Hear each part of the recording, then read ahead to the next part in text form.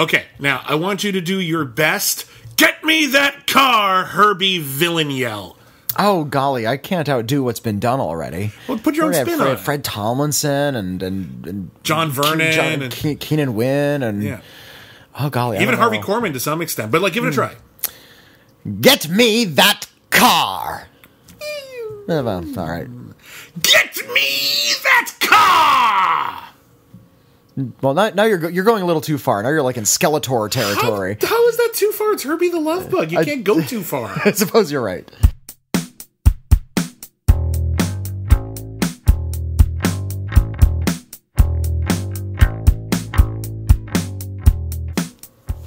Greetings, friends. Welcome back to Critically Acclaimed, the podcast where highbrow and lowbrow collide. oh, not again! Okay, collide. Can I do it once more?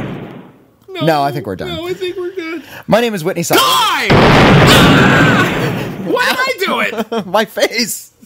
You jerk. My name is Witney Seibold. I'm a film critic of some stripe.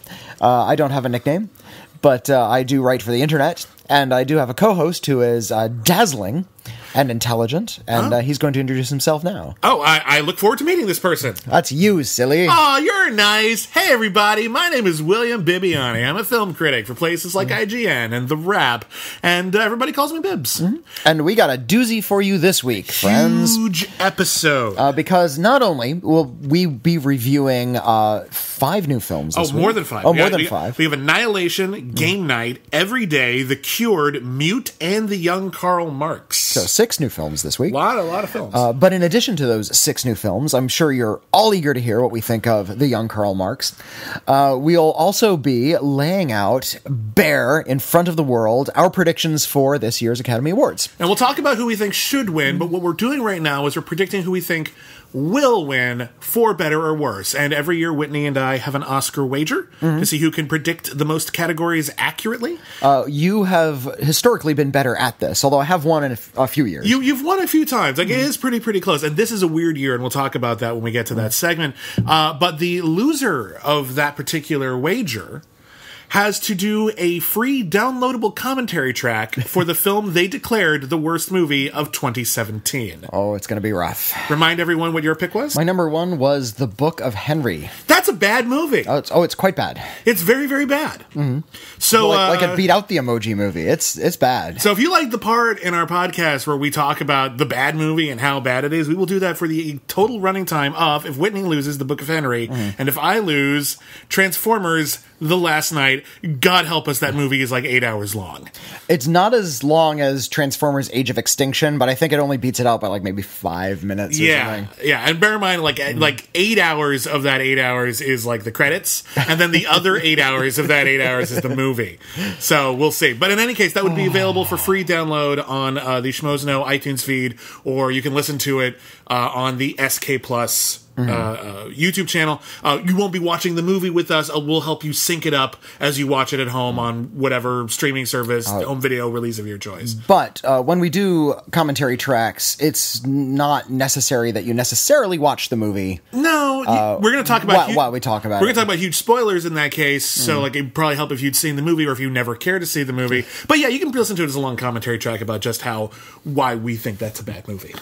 Um, so that that's what we'll go on later in the show. Yeah, both of those films uh, were in both of our bottom ten lists, so we're we're both pretty down on either of those. We're not whatever fans. whatever we get to. And then, uh, and then, uh, lastly, we're going to be reviewing every single film in the Herbie the Love Bug series, as requested by our Schmoville Facebook page fans.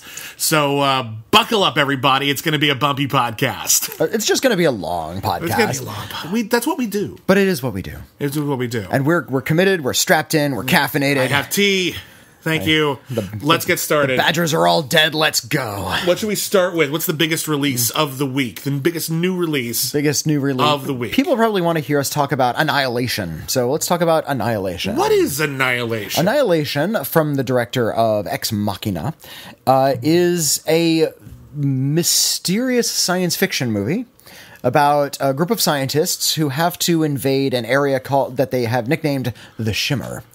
Uh, a a meteor has landed on a lighthouse in this little coastal area with not a lot of people around. The people People have been evacuated, and it is slowly growing, and it's been growing for months. Holy cow. Um, a year actually, because uh, like we find out uh, because it stars Natalie Portman as a hmm. scientist, and her husband, played by Oscar Isaac, hmm. went into the Shimmer a year ago and oh, disappeared. So it's been Well, around for a little while. So yeah, she she uh, is called in to investigate when her husband, who has been missing for a year, reappears, but he is mysteriously ill and nobody can figure out why. And he doesn't seem to have any memories as to what happened while he was in the Shimmer. So she teams up with a bunch of other scientists, uh, led by Jennifer Jason Lee and um, Tessa Thompson from Thor Ragnarok is in there as well.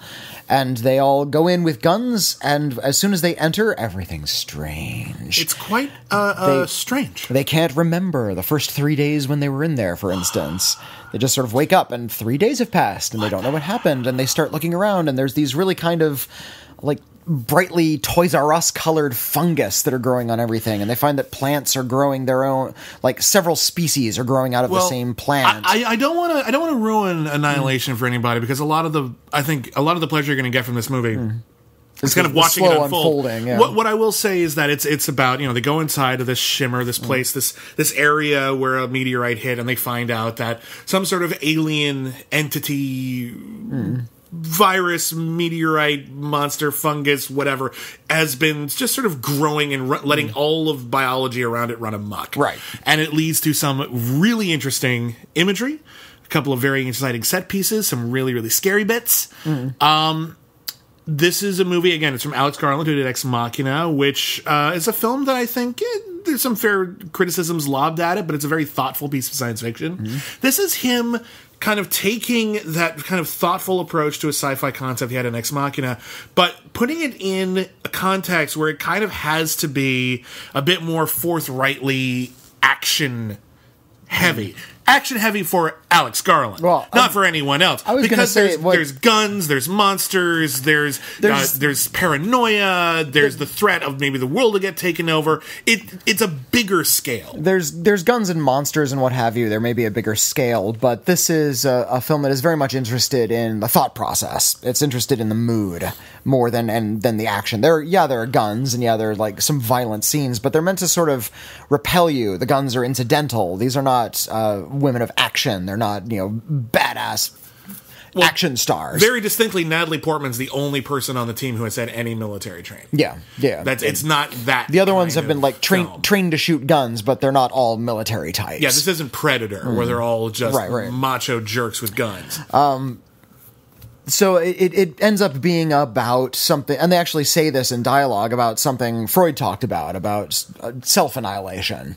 And uh, it kind of examines a lot of the the processes and the the workings of how that works in the human mind about why we if, if you're unclear Mm. i'm just going to give you the basic gist of it um, you would think biologically everything we do would be for our own survival but in actuality every human being tends to Mm. do something that actively works to destroy ourselves that could be addictive behaviors like alcoholism Mm. or smoking cigarettes or that could be more you know dangerous sorts of behavior it's, where you uh, put yourself at risk to feel alive that kind of thing that's it's- self-annihilation it's what it, it's what Freud called the death drive. Yeah. everybody is possessed of the death drive, um, and I appreciate his thoughtfulness. I really, really loved Ex Machina in that you know sort of used a science fiction con- conceit to explore misogyny.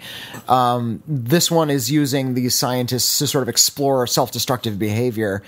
Um, it could have used maybe a half teaspoon of schlock that's my thing with this it's that's it's my almost almost a little too thoughtful for its own good. And I appreciate a good slow moving, thoughtful science fiction movie. Don't oh, get me wrong. Oh, And like films like uh, Solaris in mm. 2001 and Stalker, like their influences all over this. Mm. But what you know what other Stalker, especially. but you know what other influences is all over this? Alien, mm. Predator, like a lot of I think I've seen a hundred sci- like ch- really cheap B sci-fi movies about sort of People with guns in the people woods with guns trekking into some sort of dangerous monster-ridden territory. And, and that's my thing. Like, I feel like this is kind of a pastiche of a lot of different elements, whereas Ex mm-hmm. Machina felt rather distinctive in comparison.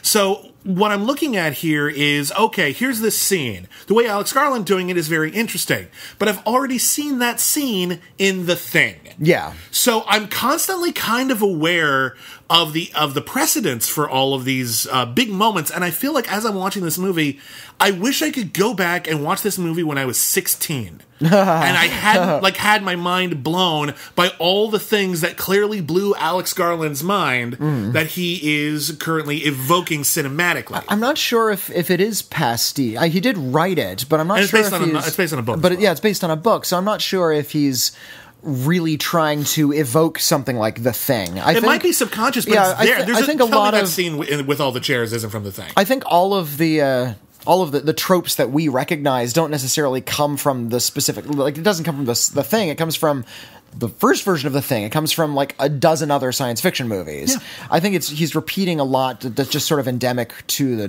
the the genre, and that makes audiences kind of expect a certain kind of tone. And uh, I feel like in not embracing a little bit more of his his very own exploitation elements, he's doing his own film at least a, a tonal disservice. Yeah. Um, which is not to say that he's undercutting his thought at all. The thought is first and foremost on his mind, and the climax is amazing and has a lot of scary visuals and stuff. There's there's there's something in the climax that I don't think I've seen in a movie before, and it's Yeah. it's really creepy. Um, yeah, I, I I would never write this movie up. I think it's too interesting. Uh, I think it's it's some of the things that it showed me I hadn't quite seen before, but it is playing on. It's trying to play on two different levels. It is trying to be, in some respects, a science fiction thriller, mm-hmm. and on that level, I think it falls a little flat Yeah. as a thoughtful science fiction film, it's there, but I still don't feel like maybe it's. I feel like it's more evoking the mood of thoughtful science fiction thrillers than it is actually being all that thoughtful mm. all the time. A lot of Yeah. the conclusions that people come to are just sort of intimate and personal and aren't actually necessarily relating to me on a personal level. I will say this Ex Machina is a film that grew on me over time. The more I thought about it, the more I realized there were different layers. So uh, when it comes to Annihilation, I reserve the right, as I do with anything, to change my mind Yeah. later on when I oh wait I wasn't looking at it through the right lens or oh uh, actually this works even less well than I thought. These things happen. Um, but I watched Annihilation and I thought to myself this is a very assured, uh, uh, interestingly stylistic, uh, unusual science fiction film that feels like it has been assembled like a Frankenstein monster from other science fiction films I enjoyed.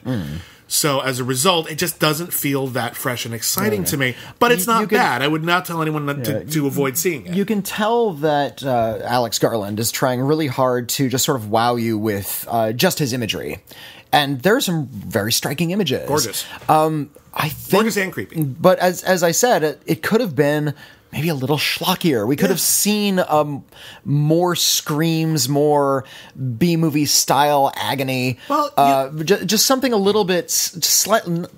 I, I rarely ever call for this sort of thing, but slightly more sensational. Well, again, we- the just slightly, of- just slightly, just Well, slightly. Like uh, modulate that mood a little bit more toward something that's a little more familiar and fun, and I think you have a stronger film. Well, I think there's. I think you got to remember that a motion picture is the way a motion picture functions is unless you turn it off and, and leave and give up on it, mm-hmm. you're sitting there. You're sitting with it for an, a distinct amount of time, mm-hmm. and it is the movie's job to keep your attention that entire time. And with a hmm. contemplative film, you do run the risk of losing the audience, and you have to be careful about that. Yeah. With a film like Annihilation, where parts of it have monsters, and guns, and mm-hmm. crazy sci-fi stuff, and a lot of the rest of it is just standing in a leafy glade, mildly debating Freud, like not even like really intensely. but, Like it's you- you're gonna run the risk of maybe losing us or getting us interested in the stuff that the filmmaker Yeah. is less interested in. I think that's a valid critique. I don't think it sinks the film, but I do think you're right. I do think it maybe.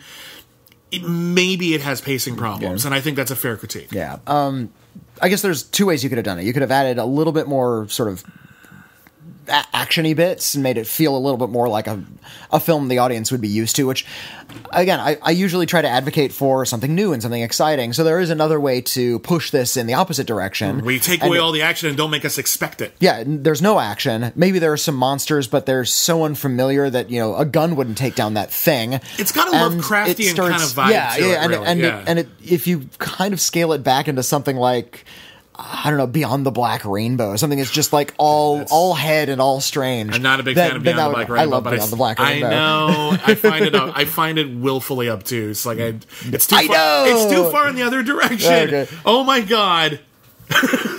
All right, my wife Michelle is so disappointed in me right now. She came in from another room because I said I didn't care for Beyond the Black Rainbow. She's okay. I, Okay. I I'm Okay, so- sorry.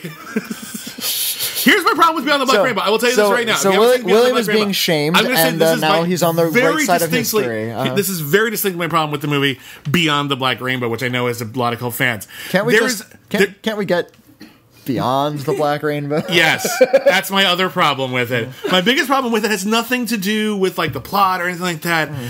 The movie has a consistent room tone, which is like putting like a vacuum cleaner on, like to get a baby to sleep. I always just like, zone out because it's got this room tone Yeah, that is yeah, just loud enough that I zone out. Kind of It's a grinding weird machine thing. noise in the background. It's, it's probably a good movie. I can't get into it because it puts me off with its room tone. There, I said it. I'm not proud of it. Let's move on. Okay. Uh, the next major release this weekend Uh huh. is a film called Game Night, a movie which doesn't have a lot of room tone. Um, well, I guess it does. It's just not very loud, and I didn't notice. I digress. this isn't going to be the new room tone podcast. Uh, Game Night. Welcome to Room Tone on KCRW. Game Night. Game Night is a comedy film. Game Night uh, stars Jason Bateman and Rachel McAdams as an incredibly competitive married couple who every week host their own game night. Mm-hmm. Along with their best friends, and most decidedly not their creepy next door neighbor, a cop played by Jesse Plemons from mm. Breaking Bad. Uh, and he, the the cop next door, they were good friends with he and his wife, but he and his wife recently divorced. He's mm. now living alone with his dog in the big And house next memories. door and his memories. He never takes off his cop uniform, and he wants to go back to game night. And and Jason Bateman and Rachel McAdams come up with lame, sputtering excuses not to welcome him in. Yep. Uh, this will come into play later. It's all important later. It's actually okay. It's actually a very well structured screenplay. Um, so uh, it turns reminded out it reminded me of the man who knew too little. I like that movie a lot. Actually, I think that movie's funny. Uh, there's actually a whole long history of this particular genre, but the genre uh, uh, begins thusly in Game Night. Uh, Kyle Chandler has an older brother. Jason oh. Bateman has Kyle an older Chandler. brother. named- Shut up! I'm so lost now. Right. You guys got me so messed up on room tone. I can no longer. You're, just thinking about it gets your mind in a haze. Yeah. Anyway, So Jason, Jason, Bateman, Bateman, has a brother played by Kyle Chandler. Kyle Chandler is infinitely more successful and popular than Jason Bateman. He's very competitive with his brother. His brother puts on his own game night, and it's going to be one of those like role playing mystery games where he tells everyone Make your own mystery. he tells everyone at some point tonight I am going to be kidnapped, and you will have to find me, Hmm. and whoever finds me wins my car. And then Kyle is- Chandler is kidnapped by actual kidnappers, not the role playing team he hired for the thing. Yeah. And no one knows it's not fake, so they're pursuing these kidnappers, uh, not realizing that their lives are in mortal peril. It's the the game is real genre, and it's actually really, really kind of an old genre going back to like the most dangerous game. But it's everything from The Man Who Knew Too Little with Bill Murray, which, as I said, is very, very funny, um, to a fun film called Tag the Assassination Game with a young Linda Hamilton. No one remembers that one, but it's pretty neat and worth checking out. Uh, the Last Starfighter and Tron Oh, are versions of this. Jumanji is a version of this. Um, and uh, yeah, this is a very well crafted version of that because the cast is great, the characters are distinctive and funny, and the directors, the guys who also directed the very bad sequel, Vacation, like the, the most recent one, uh, which I just did not find funny at all. That's a terrible movie. is They directed the hell out of this movie. It looks like a David Fincher film, and the movie's filmmaking takes it so seriously that whenever wacky stuff happens, it just becomes that much more funny Mm. The, uh, because of the juxtaposition. They're actually better at sort of the action and the tension than they are at the comedy. In fact, a lot of the comedy is uh, that really annoying comedy of awkwardness where Hmm. someone's put in an awkward position and the camera just points at them while they kind of sputter and backtrack and try to get themselves out. That just makes me feel uncomfortable. I don't like watching that in comedies I generally. Uh, think I think when you add the and if they don't get out of this situation, they will be killed. It adds another layer of suspense and I, interest. I suppose so. Um, you mentioned that the cast is great. Rachel McAdams is the star of this movie. She's so good. she was in Mean Girls, and everybody thought she was, you know, going to be this new sort of voice in comedy. And she ended up doing, you know, more romances, more family films. She's a fine actress. I've don't seen get me dramas as well, And dramas, Spotlight, yeah. and uh, she, She- she had a very varied career. She Yeah. didn't become the comedian star. she, she did get yeah a chance to become a movie star and good for her but yeah she never became sort of the the comedy star that we thought she was going to be and uh here we're reminded wait a minute she actually is like one of the funniest actresses working yeah, um, she approaches everything with this sort of flip dismissive attitude there's a hilarious scene where she has to dig a bullet out of her husband's mm. arm that goes on and on and on. Oh my on god, that scene should not be funny. That scene should be gross or uh-huh. painful. And the way like Jason Bateman and Rachel McAdams play off of each other Mm. as they try to as they try to perform like alleyway surgery on a bullet wound, just checking it on Google and like she's got blood all over her hands and she's using her nose to, to, like, yeah, put to- touch the phone so she knows how to remove a bullet from the. Uh, it was from a white supremacist website she had found. Oh my God. if you remember that, I forgot It's about that. It was, it was the only one I could find. I just, I'll, and she even said, "I'll just ignore all the Nazi stuff." Yeah, uh, there's so many like it, it- it's hard to describe how good game night is without mm. sort of re- reminding ourselves of kind of like the bad state of motion picture broad comedy right now. Mm. Because a lot of motion picture broad comedy right now kind of got trapped in that Judd Apatow school where the plotting is very loose mm. and every like comedic scene is usually sort of designed in such a way that yeah, yeah. designed in such a way that the actors can do like 60 riffs on the same joke and then they use 30 of them yeah, and then you put all put the other 30 in every scene in the credits. And it's like that's kind of funny but the problem is that if you actually have a plot that's interesting like you can do that in, in a movie with almost no plot like knocked up. But like in a movie where the plot is actually like kind of engaging like Well, game night or spy we want to you to move on Yeah, because yeah. we're invested The, in what's uh, happening the biggest offender of this in recent memory, I think, was the the Ghostbusters remake. Mm. It's like you have a Ghostbusters film. It's like this big special effects bonanza. It's about Yeah. catching ghosts, and the characters wouldn't shut up. They were just chattering in every single scene. and that's not the fault of any of the actors all the actors in that movie are great They, it's just they were the- the- directed that way. Yeah. They were told just start, just chatter, say things. You know, say you're really nervous. There's like- so many things I actually okay really like about that movie. I, there's a lot of things I like about the movie, but yeah, the pacing It, it is never, the problem. It, it never had a, a chance to really build any sort of tension or mood or anything because people are just talking the whole time. Yeah, Game Night, on the other hand, is tightly scripted. Yeah. It was written by people who are funnier than an improv actor. And when improv can be really, really great, but it's fun it's because it's mm. extemporaneous. When you're writing something and you're carefully crafting it, you're building gags Yeah. over the course of the film, and they blow up and balloon and go in unexpected directions. And it is so much more dynamic most of the time. Game night is just really just well structured. I don't want to ruin it for you. I don't want to tell you everything that happens in this movie. It just goes off. Like I, there's a couple of times in the movie where I literally just turn to the person next to me and it's like, and here's what's going to happen. Because in most movies, this is what would happen. Game night didn't do that. Game night went in a completely different direction. Yeah, yeah. I know, and, and it all makes sense in retrospect. I mean, it's a, it's kind of obviously the premise is ridiculous, but like you- within its own logic, I- it makes sense. I don't want to oversell how how tightly scripted it is, however, because it's Hmm. it's it does it does suffer from a few loose moments where the the actors are just sort of allowed to to ramble for a bit, Hmm. and it's only when it gets sort of down to the characters in a tense moment that it actually starts to f- shine. Um, there's a really great uh, moment about a, a couple who might be on the outs because of an event of potential infidelity, and I don't want to reveal any of the details of That's that. a great subplot. because it's a great and subplot it did and not and go it anywhere I thought it would go. and, and it has a great reveal. Um, Yeah. And around that scene, there's a bit where they have to uh, steal something from a mansion. And again, I don't want to say anything, but Yeah. they have an object that they have to pass between them, like a game of keep away. yeah, like a game of keep away, and. It was one of those, like an Atomic Blonde, one of those one-shot uh, marvels that you know goes up and down floors, and we're following this object that they're flying flying around. It's virtuoso It's- filmmaking. and you can tell that they didn't use a lot of cheats to like hide edits. Though you could t- see the actors getting tired. Yeah. you could see that you know these people are not all you know virtuoso fighters.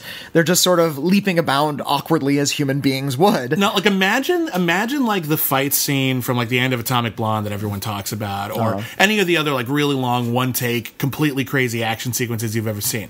Now imagine that with like three times as many characters, and they all have to be funny and, they're doing it. And it has to be suspenseful at the same time. That is hard, and they nailed it.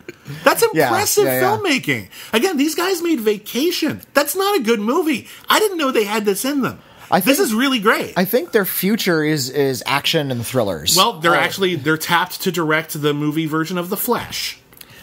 so- sounds like a good pairing. Yeah, honestly, and they they and I, and I co-wrote, hate uh, Vacation. I and they really hate They co-wrote Spider-Man: Homecoming, which was pretty good.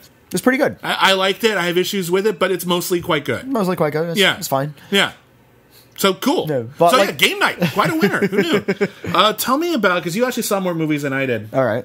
Tell me about a movie. Uh, tell me about Mute, Mute. which is on Okay. Netflix on now Netflix. from Duncan Jones. This is from Duncan Jones, who uh, previously directed Moon, big Mm-hmm. indie darling, and then he did Source Code, which was critically acclaimed. Was it? I, I thought I was kind of in the minority. Lot, I love of, that movie. A lot of critics really liked it, although it wasn't a huge hit. Uh, I wasn't the biggest fan. Yeah. Time travel stories don't stand up to much scrutiny, do they? I think Source um, Code works pretty well, but yeah, okay. Um, and then he did Warcraft, and which then he I did- liked. And then he did Warcraft. I don't understand why everyone's so down on Warcraft. I've seen so many worse sucks. fantasy films. Like it's not it's not a classic epic by any stretch of the imagination, but I've seen so many worse fantasy films than Warcraft that people gave a pass to. I do not understand why Warcraft got got all this negative attention. It's think- really not that bad a movie. I think because it's like as bad as those ones people gave a pass to, but it is visually not nearly as interesting, and because they use like so many special effects, it becomes like busy and ugly and difficult, and it's so long that it just becomes a chore right, to I'm not- watch. I, we're not having this conversation. I do not right like now. I like but, Warcraft quite a bit. Uh, now he's made uh, another big budget science fiction movie, but it went straight to Netflix. Um, I don't know the politics behind it. I don't know why it went. He's been trying to, get it made for a really long time. Actually, I remember I interviewed him right after Source Code came out, and he was talking about how he was trying to get Mute off the ground. Never happened. Just kept trying. Never happened. Netflix came along, and they managed to make it work. So, what is Mute? So Mute is a sci-fi noir film. Uh, it's takes place in the, I guess the near future, but it feels like the distant future. Everything's really overstuffed. T- tech is everywhere uh, of England. Alexander Skarsgård plays an ex-Amish man who suffered an accident when he was a boy and hasn't been able to speak his whole life. That's an interesting setup. Yeah. Okay. Um, the fact that he is mute has very, very little to do with the actual plot. It's just sort of window dressing. In fact, this whole movie is window dressing. Oh no. Um, so he gets involved, embroiled in. Uh, he plays a bartender in this futuristic strip club where there's strippers, but also robot strippers, and he is beloved and beloves uh, one of the waitresses there. Uh, uh, pretty femme fatale with blue hair, and she goes missing. And so it's up to him to sort of trek into the sci-fi noir underworld to find out who she is, simply by like holding up pictures and giving threatening looks because he can't speak. okay. His story starts to diminish as this film goes on, and it's two hours and five minutes long. Okay. Uh, in favor of Paul Rudd and Justin Theroux, who play surgeon torturers of an unseen futuristic crime boss guy. And, okay. and Paul Rudd is kind of a hardworking dad. He has a young daughter. The mother's out of the picture. He's trying to make ends meet for her. He's trying to get his papers so he can leave England. Evidently, his papers are just gone. So he's constantly petitioning a forger to make papers for him. Okay. And to make ends meet, uh, they like put stoolies on an operating table and he essentially tortures them to death or just until he gets the information they want. It's pretty, Okay. it's Justin Theroux takes a little too much glee in the torture, and he also has some other sexual proclivities that get into him into a lot of trouble. And there's a lot of scenes of Paul Rudd and Justin Theroux having discussions about what empty monsters they've become. okay. Those scenes would be kind of interesting if it took place in the modern day and there was no Alexander Skarsgård plot, and it was directed by, say, uh, some notable indie director, Snow Angels. Duncan Jones. Well, I- guess Duncan. Well, I guess Duncan Jones isn't an indie director anymore. He only did. not. He only did one, and now he's done three like big budget sci-fi movies. Fine. So, but like, okay, But so, so so- it sounds like it's unfocused and it's like the it's unfocused. It goes on. The protagonist isn't very interesting. The story isn't very interesting, and I don't know why it needed to be set in the future. I don't know what the technology has to do with anything. I don't know what his being mute has to do with anything. There's no central theme or idea behind this. It's just a lot of really cool visuals, a really kind of fully realized world without really a story set in it. And you can tell Duncan Jones is really thrilled by his own production design. There's a lot of voice activated vending machines everywhere, and people can just sort of touch the walls around them. I'm imagining I this right now. This is the pitch. Like I got this thing. It's a noir It's vending story. machines everywhere. Yeah, it's a noir story. The protagonist isn't very interesting. We're going to get sidetracked by the tortures, but I digress. The important thing is vending machines everywhere. There's vending machines, there's tall buildings, there's a re- one really cool shot where we see a bunch of people bowling in a futuristic bowling alley, and we pull out and we pull down, and it turns out that's the second floor of this futuristic bowling alley, and there's bowling underneath, and we pull out even further, and it turns out there's bowling alleys everywhere. It was actually a really cool shot. It's a cool setting. It's all very unique looking, and it's all very striking. It has no mood or tone or direction or interesting plot at all. I wonder if, and, and, and, and this is coming from someone who, again, likes Warcraft. Like, it's. I don't think it's a classic. I don't think it's great. I, I. Yeah. Hmm. just like it. I think it's a fun science fiction. Um, fa- I think it's a fun fantasy film. I don't know why I can't talk today. it occurs to me that Duncan Jones might be one of those filmmakers who is better the less money you give them. He Maybe might, so. he might get a little if wrapped Moon- up in Moon the technology and the most in- style. most interesting film. and even source code isn't that elaborate, all things considered. Yeah. you know, it's a, it's a mid range sci-fi thriller. Hmm. Um, but yeah, maybe you, you give him a lot to work with. Maybe he gets a little distracted by it. I don't know. Yeah. It, but I've seen it happen. He- he You was- look at something like Joel Schumacher. You give Joel hmm. Schumacher no money, he can make you a fun and even decent movie. Hmm. Give him a lot of money, he has no idea what to do with that money. Batman and uh, Robin is a, is a much worse film than Tigerland. Yeah. Tigerland's actually quite good. like, I feel the same way about Peter Jackson and, Mm. Sam Raimi. I've said that before. I think they're they're great when they have no money at all. Mm. Um, I, I I think Meet the Feebles is better than any Hobbit movie. Well, yeah, the Hob- st- okay, the Hobbit trilogy, I'll give you that. No, any film with a Hobbit in it. Shut up. That's stupid. Yeah. But the Hobbit trilogy, yeah, I'll Well, give you maybe not Meet the Feebles, but Dead Alive. Okay, yes, yes. Actually, yes. Yeah. Dead Alive and uh, uh, Heavenly Creatures. I would say both There of you those. go. Are, are better films than, than probably- what his bigger blockbusters. That's probably true. and they're all better than King Kong. I don't know what, what's what's I like King Kong. Why does everyone hate I King Kong? don't know. much? King Kong, I know it's too long, King but Kong, like, that's Lovely not so Bones, bad. three Hobbit films. He he needs to come back. We want, we're I'm- waiting for Peter Jackson to come back. Yeah. Um, anyway, but you can tell that Duncan Jones is trying to say something eventually uh, by focusing on the young girl character because you know her her fate ends up being wrapped up in a lot of this, and there's a lot of really horrid, sudden, depressing violence that you're not going to expect in this movie. It's a brutal film. It becomes really, really depressing when you realize who's getting away with what, and it's eventually uh, dedicated to Duncan Jones' parents, who both died rather recently. So he's clearly working through uh, a lot of sadness, and he's grieving uh, being, you know, a, a child alone now, and.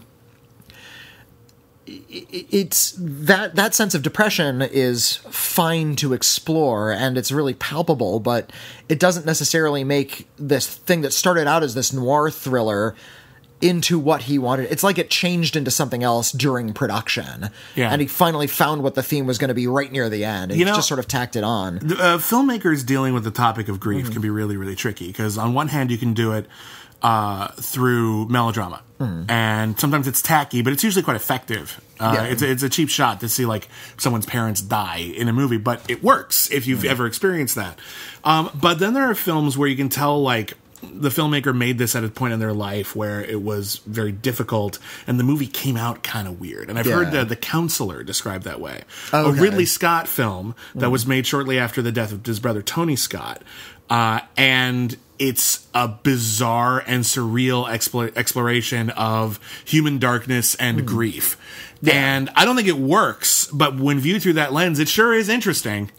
It, when you try to see it as a, a treatise on grief, the counselor, you can see that the, the filmmaker was grieving, but unfortunately the audience is as well. Mm. Yeah, the- because they're watching the counselor. It doesn't translate. It feels like maybe this is like a piece of poetry you should have like not published. yeah, you know, like if that you kind of thing. if you go to a filmmaker like is more for you than it is like for anyone else. Herzog or more than that, Lars von Trier, who constantly makes films about his own depression, he's committed.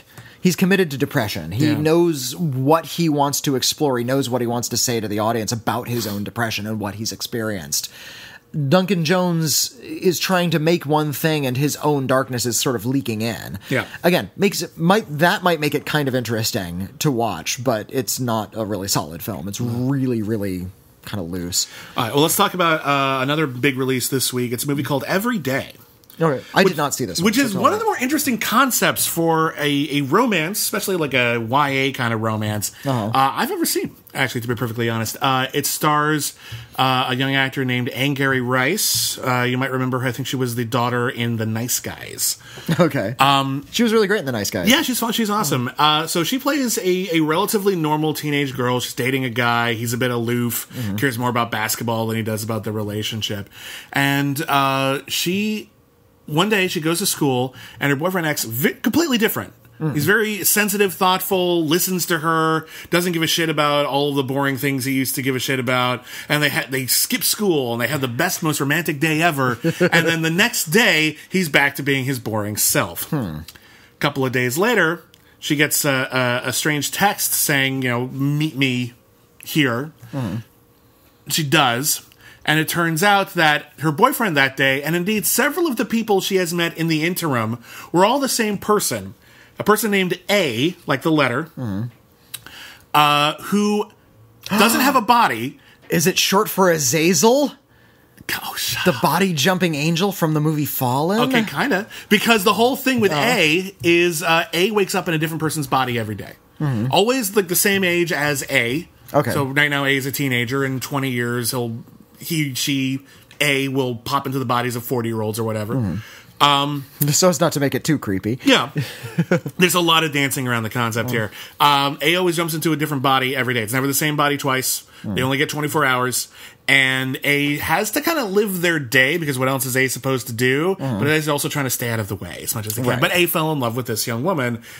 And they're, he's, A is trying to make it work. and it's a really, really complicated premise. And Given this cosmic hiccup. yeah, it's basically like we. It's kind of like the. It's kind of like Death Note. I didn't see Adam Wingard's version of it, but if you read the manga or you watch the anime, it's basically we came up with this neat idea for a sci-fi fantasy concept, but we end up kind of the whole story ends up being about the rules. Yeah. So, what are the rules if you're dating someone who hops into the body of a different person every day? You don't know who the person you're dating is going to look like tomorrow. You don't know if they're going to be capable of going to see you tomorrow because maybe there's someone who doesn't have a car or maybe there's someone who uh, there's one Maybe day they're in the hospital. Who exactly knows? that Yeah. happens once Okay. exactly um so that is there's complete chaos in that regard at its best every day it becomes a really potent metaphor for a sort of romantic and sexual awakening when you realize that it is possible to love someone for who they are not their body. Okay. and that you know she her she, her idea of romance becomes incredibly fluid hmm. because after a while she's dating literally everybody. And it toys with it toys with ideas of polyamory hmm. because you know a will wake up in the body of someone who has a big anniversary dinner with their boyfriend tonight. I, I can't miss that. I would wreck hmm. their life. I have to do that. Like and they yeah and they tackle maybe not as well as they should have the idea of yeah you jumped into you like leaped into the body of my boyfriend mm-hmm. and had a romantic day with me under false pretenses So that that that's, That's kind of- weird. yeah, that's n- not polite. A's only like defense is like, well, what am I supposed to do? Like, it's a weird situation. I'm doing the best I can, and like, yes, but again, you get kind of wrapped up in Is- the weird questions of it. Is it always a boy, or does she fall in love with women too? Men, women, and I believe at least one trans person. Oh wow, okay. Um, and I and I appreciate that. In fact, she actually asks A, "Do you consider yourself a boy or a girl?" And A just sort of like wiggles their hand, like, eh. like I've been both. I've been both. Like half the time, I'm both. Like Mm-hmm. I, I don't, I don't really know the difference. Um, and yeah, on one hand, it's like this beautiful exploration of we're all gender the same- fluidity, yeah, yeah. gender fluidity. We're all the same person. Uh, everyone's experience is unique, but also universal. And at its best, it's that, and it's really, really sweet. It's really, really great. Kudos to the casting director on this thing because like dozens of people have to play the same character, and it it always works. You never question it. It always feels like the same love to know character. if- That's hard to pull. I would off. love to know if the director got all of those actors in one room and just like had to direct them all at once. I would not be surprised if they did some sort of workshop. In any yeah. case, it, it plays great. It's really consistent. The problem with the movie, again, it just you start asking the questions, and the movie answers quite a few of them.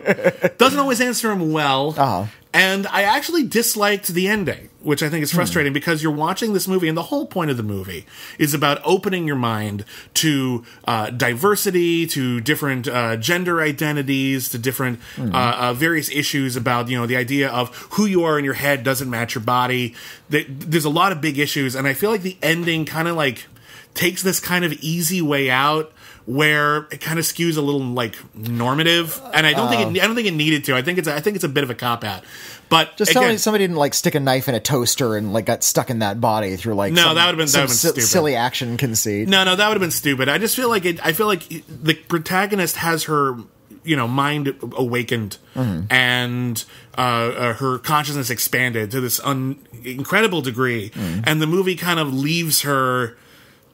Kind of a little bit more back where she started than it- than it needed to, and it feels like we didn't go on a we went on way too big a journey to go to not go very far to go back to the start. and I thought that was a damn shame. But I it's know interesting. a and lot I of those credit for that. a lot of those catharses can feel that way when you're a teenager to be fair you can you know have this sort of big romantic awakening you can you know you can lose your virginity you can move on into your like this new sexual plane and this new romantic plane you still got to go to high school the next day you know That's your life is still going to be kind of normal But you're going to tell a story about that, you're going Mm-hmm. to tell this fantastical allegorical story about that, and you're going to like sort of backtrack or digress or, or whatever, like at the end, like it does indeed happen in real life, Mm. you had better make damn well sure the audience knows that that's the point. okay because if it's just sort of incidental, it's just like I thought we were watching some kind of fable, like something with a moral to it, Mm. and the moral just kind of isn't as big as it should have been, like right at the end. Uh, so And- so it's a neat idea but not a good story it, if it sounds like an interesting concept to you, anyone who's listening, it's worth watching. Like it's interesting. It's certainly it's a neat idea. They pull it off way better than I think most people could have. And again, you want to see like a really interesting feat of acting where everyone, like a whole bunch of people, have only like a couple of lines of dialogue or only like a couple of scenes to play the exact same character as that character grows and evolves over the course of a film.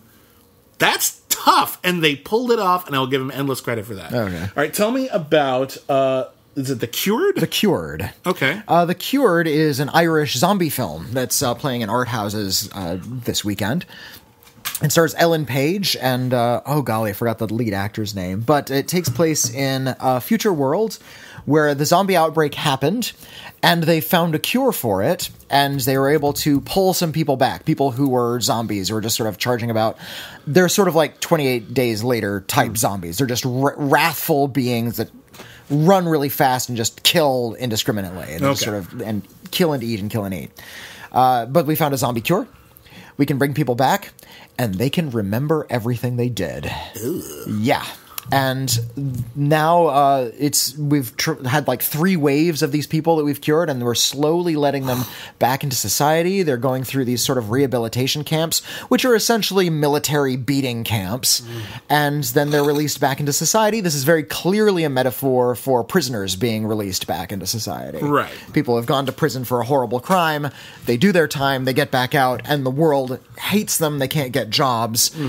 Uh, and likewise, the cured can't get jobs. People don't want to work with somebody who used to be a zombie, somebody who potentially ate other people when you know they were under cover of this virus or whatever it was. It, that's a that's a that's a good allegory. It's, it's a really good. al- I mean, zombies are universal allegory. They, they can be used effective. used for a lot. Uh, I think most typically they tend to be used for like disease. But you Uh, look at something like disease and apocalypse Yeah. and sort of the dissolution of society. Yeah, yeah, where like Uh, if all of although- society collapses and we're no longer at the top of the food chain, what do we become? Yeah. That's one of the most common tropes. you look at the original Night of the Dead, it has some racial underpinnings. You look at Dawn of the Dead, it's about you know it's shot in a mall. They they only ha- found a cool setting. They're going to shoot it in a mall, but turns out by coincidence And It's a good makes it about allegory. yeah about consumerism. yeah, the third one was about Cold War paranoia. A lot of it. Yeah. Um, for, uh, Land of the Dead was about the one percent. Day of the Dead is so damn good. By the It's way, so great. I love Day. Like I, Really I only watched it for the first time like a couple of years ago, and I I regret that I had had Dawn of the Dead put in my mind by so many people as the high watermark because I thought Dawn of the Dead is kind of dull. I think I- Dawn of the Night, Dead. Night of the Living Dead is great. I think Yeah. Dawn of the Dead is It's important and it's influential, It's important, it's but- influential, but it's kind of a drag to watch. And Yeah. Day of the Dead is the party you want a zombie movie to be because there's all kinds of wild crap in that movie. Oh golly. Um, yeah, The Cured is very, very directly a metaphor for the prisoner experience. Uh, and what's more, the people who have been cured are no longer targeted by infected zombies. So they, Oh. they kind of have essentially the the guys on the inside on their team, and because they cannot get jobs because they're so hated by the rest of society, uh, one rogue cured man decides to let the zombies out and, and infect everyone. And that's the big sort of thriller element. So if you want the sort of vi- if you want the zombie violence and all the mayhem and the world at world gone mad, this has that too. Uh, it's depressing AF. the, the cured has no moments of levity it's all uh, contemplation it's all suffering and with each revelation the suffering just deepens So you loved it. uh, i dug it i dug yeah, it a that lot makes yeah. I saw that. Um, going, yeah. When you started talking about how depressing it was, I'm just like Whitney liked it. no look, I- just talked about how Mute was a drag, and that's no fun to watch. But, that's but that's there are- depressing because it wasn't very good. It's Yeah. not oh. because depressing because it's exploring depressing themes, and Yeah. you live for that, don't you? so, sometimes, sometimes I can get behind that. Yeah. Much like Oscar-nominated live-action films, I'm just depressed. But yeah, this one I think is a really, really fascinating look at the way we tend to unhinge in the face of hopelessness, hmm. and it- it's really, really savvy about the way hopelessness is something that we constantly need to fight, especially when we're trying to seek redemption. Hmm. It's like if you committed a crime, you know, even if you're a zombie at the time, are you go- are you going to be worthy of redemption? Right. And so a lot of societies say you'll never be worthy of redemption. You will say to yourself often, "I'm never going to be worthy of redemption," and then there's going to be those moments of brightness where you think, "Maybe I can do this. Yeah. Maybe I can be human with an asterisk. You know, human with a crime underneath me, but still a human." Uh, yeah, and I, I think it's it's incredibly smart. It's really well acted. Ellen Page is terrific. She's a great actor. She- She, ends up in a lot of junk, unfortunately. Like Flatliners She was was, in the waste remake of her of, talent. of Flatliners. She did Yeah. not belong in that. Well, it was a, frankly everyone in Flatliners was better than that remake of Flatliners. Oh, that's true. It's not even the worst movie ever. It's just sort of there. Yeah. and it's just like it's such a great concept. You got such a good cast and nothing, Mm. like nothing new. You're not really gonna. Oh, that's a shame. We're gonna just uh, make it boring and kind of forgettable. Yeah. Flatliners, All right, Flatliners, fittingly. Ha. Uh, okay, lastly, tell me about because I didn't see this one either. yeah. The young Karl Marx. This is like a YA adaptation about the adventures of a young Karl Marx. Yeah, Karl Marx is a teen warrior in the distant future, and he holds out his fist, and a bow appears in his hand, and he can uh, kind of pull back an imaginary bowstring, and a giant eagle appears in his hand. And he lets go of the eagle, and, it, and he can s- far see, and he can see through its eyes and shoot lightning at his. No, none of All that of that sounds cool. I'm not gonna lie. I want to see all that. If that was a cartoon series in the 1980s, I would have had all the toys.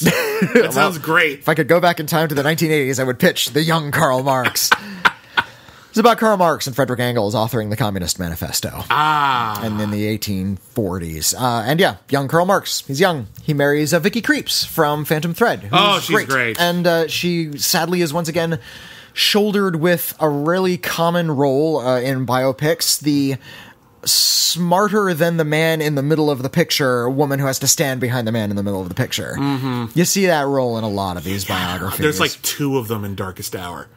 Yeah, Yeah, and- and I, that's a pretty good movie, but it like it relies on that trope like, yeah. really heavily. And, and I understand, you know, they're trying to say that the great men never do it alone. There's Mm-hmm. always, you know, a, a whole team of people and you know women in in the picture as well who are facilitating all of this. And granted, throughout history, women have unfortunately been sidelined by society. Yeah, yeah. And there's So- only been so much you know they could do within reason, and that's a fucking shame. But like when you use it as this dramatic device, Mm. where here's the important man, and here's the woman, women as a the woman supporting who's characters. a little off to the side. yeah, the man. Um, don't you feel appreciated? no, that sucks. so this movie is it, take, it, it takes place you know all over Europe. Uh, the actors speak English, French, and German as they're trying to put together this communist manifesto, which was needed at the time because of the Industrial Revolution. Right. People had to work these machines 24 hours a day. They were getting grievously injured. Mm-hmm. They were getting paid peanuts, and rich tycoons were getting wealthy off of their blood. yeah.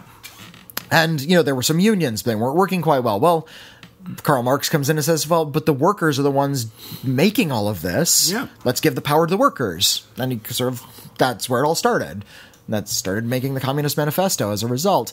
Um, the revolution starts occurs after this movie, which means all we have are people sitting around in rooms discussing theory and talking about writing a book. You loved it, didn't you? No, it's actually What? it's actually boring as sin. What? Uh, I thought you loved boring as sin. Ordinarily, yes.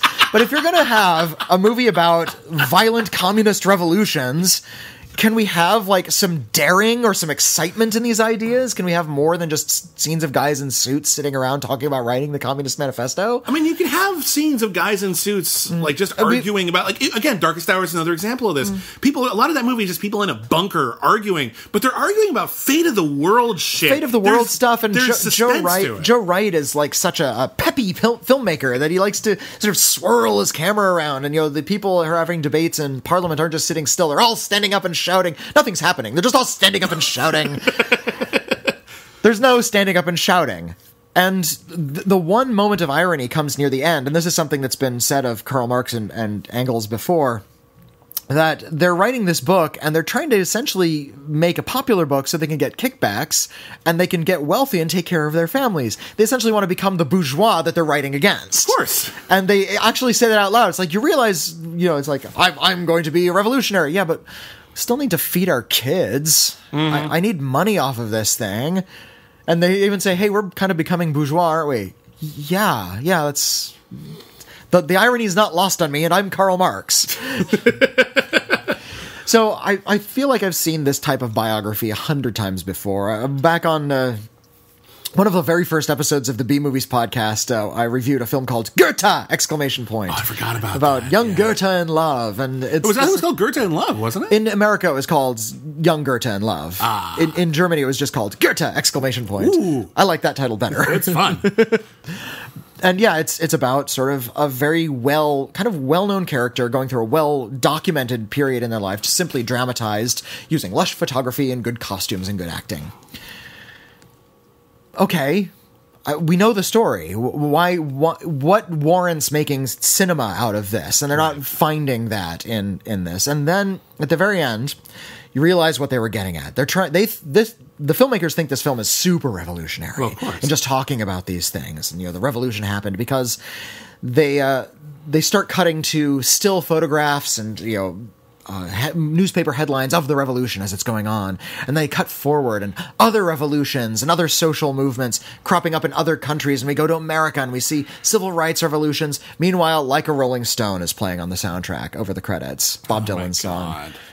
It's like the That's most very- thunningly, stupidly obvious music cue I've seen in a movie in a long, long time. Which is like, we're, like, we're, like, we're, remember when Lars von Trier put uh, "Young Americans" over the credits of like Dogville and Okay. Manderley? Okay, but it's, at the end of- it's it's even worse than that. But at the end of Dogville, it seemed like a relief. well, it, it, at the it end was of like Dogville, it's big. like, oh, thank God. It was like a big ironic punch in the face. You know, Yeah. it was really obvious, but that But whole film at is least, obvious. But at least there was some levity. Like at least there was a true. joke. and and, and it's kind of like a bright song. It's just Yeah. like, nah, man, we're we- we're changing the world, man. Man. And I under I appreciate you know some people get together get together in a room they set out to change the world and some of them do it. And Yeah. Karl Marx was one of those people who set out to do it and did it.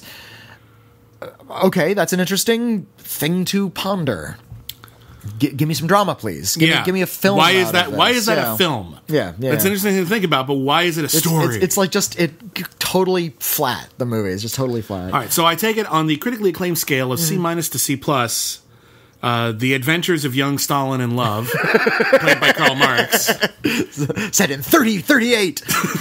and Sherlock, the reincarnation of Sherlock Holmes is now a dog. Again, you just make it sound better and better. I guess I, I'm guessing it gets a C minus. It gets a C minus. It's not a disaster, but yeah, it's just kind of boring. What about The Cured? the Cured, I'm going to give a, a, again a C plus, but not a hugely enthusiastic one. But yeah, really, really powerful stuff. okay, and Mute. Uh, mute a C minus. It's a mess. All right, uh, every day. Every I'm, day. Mm-hmm. I'm going to give this a C, um, like right in the middle, because like if they had just maybe explored the questions that they asked more, and if they just maybe landed the ending more, would have been a very enthusiastic C plus. But as Mm. it stands, they tried something interesting.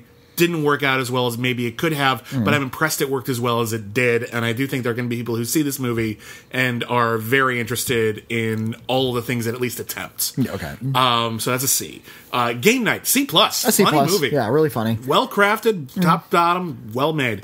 Uh, and Annihilation.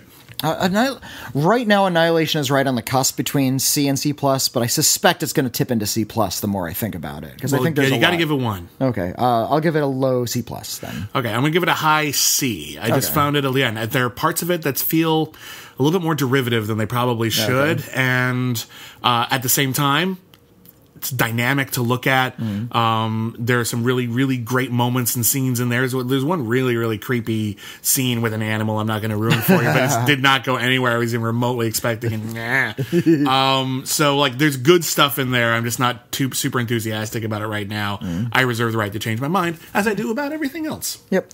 That's how life works.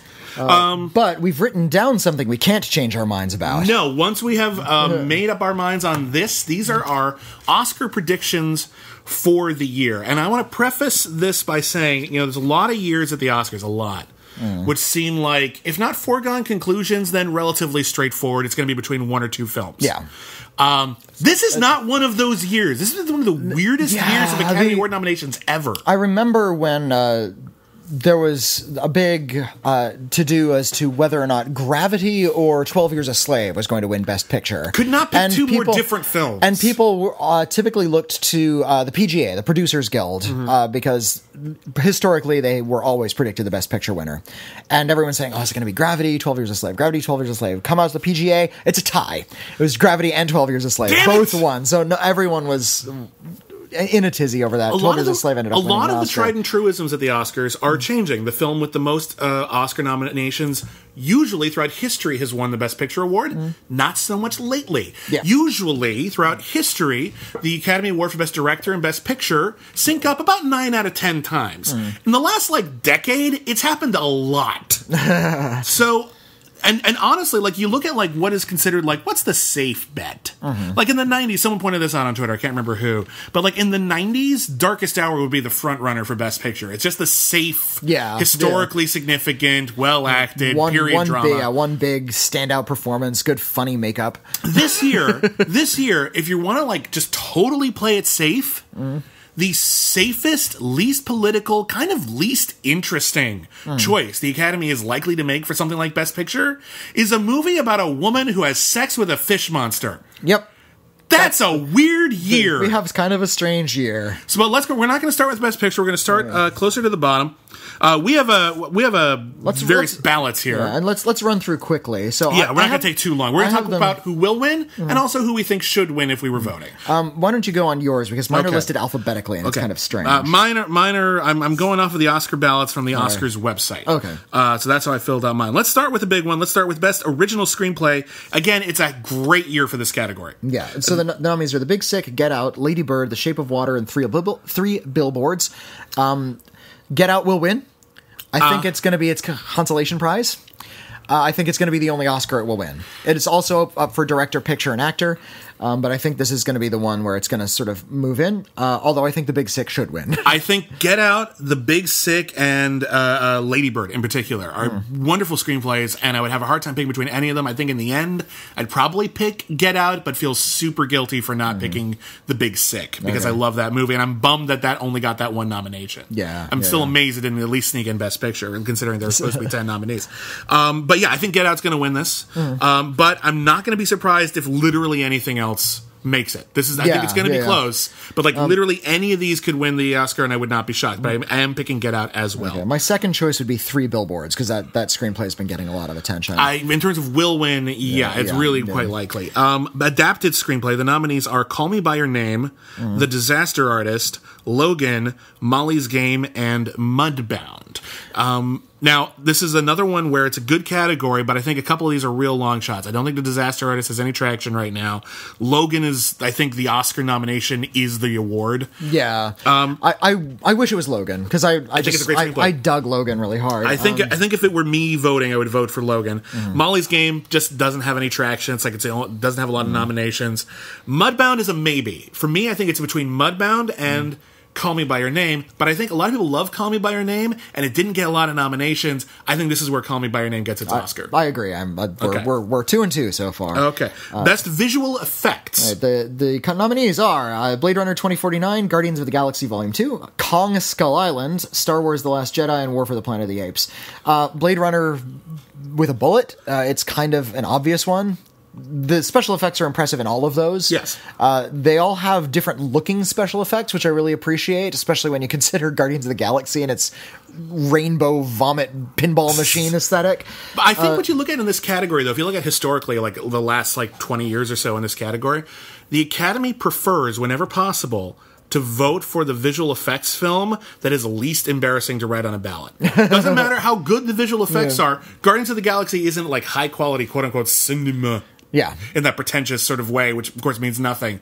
Uh, but like you look at like they, they give like Hugo Hmm. an Academy Award for Best Visual Effects. That was not really the most impressive visual effects that year, but it was a They're- classy they're film. Pretty, they're pretty good, and it's, a, good. it was a movie about movies. So I'm actually with you on this. I think Blade Runner 2049 is going to get this. Ex Machina Mm-hmm. won this award a couple years ago, even though it wasn't the flashiest either. It was the classiest film. So I think that's where they're going to go. Okay. Uh, however, if I were voting, I would also vote for Blade Runner 2049 because it's a perfectly realized world. Yeah, yeah well, and, and it, it just it's so great to look at. It's so great of, Yeah. of, of the worlds that were created here.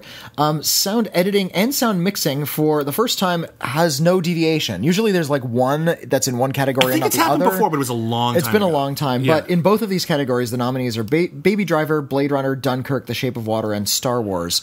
Um, I really wished it, I almost voted for Baby Driver in both categories Yeah. because Baby Driver is a film that is uh, edited to its sound. Uh, it, Mm. The editing is one of the more impressive.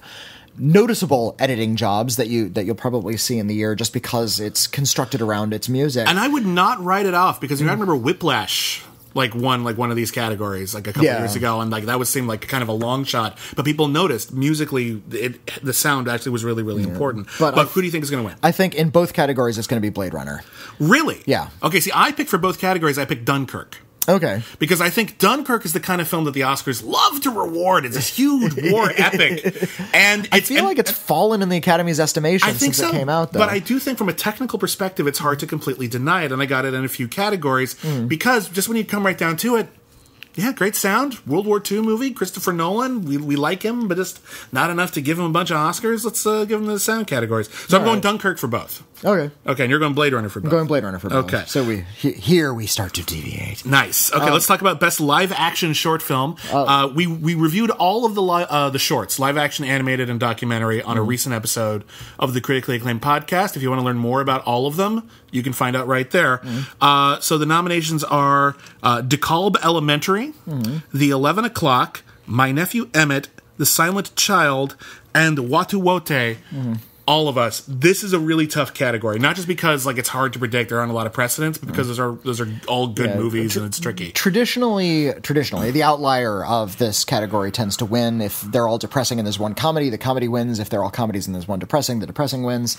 There's one comedy, but I don't think it's going to pull it out this year. I don't think it's Uh, sharp the- enough. It feels I like a do, little sketch. I do like the Eleven O'clock. That's the comedy, but um, I think it's going to go to my nephew Emmett, the Emmett Till film. Really? Yeah. Okay, interesting. So I actually I was really really torn Hmm. Between The Silent Child, uh, which is a very uh, uh, dramatic, very well crafted film about uh, a deaf girl and a family doesn't appreciate her, and DeKalb Elementary, which is about uh, a school shooting. Hmm. Um, and I think ultimately it's a tough call. I'm actually going to go with DeKalb Elementary. I think I the politics kind, of it is kind of topical right now. I think it's so topical. I think it's going to have an extra impact Yeah, on anybody you're who watches it right now. So, but that's going to be real tough. Uh, animated short film. Mm, the nominees are Dear Basketball, Garden Party, Lou, Negative Space, and Revolting Rhymes. Again, they're all pretty impressive in their own way. Mm. I think Dear Basketball has the emotional headshot where Yeah. it's just really just super intense, and I think.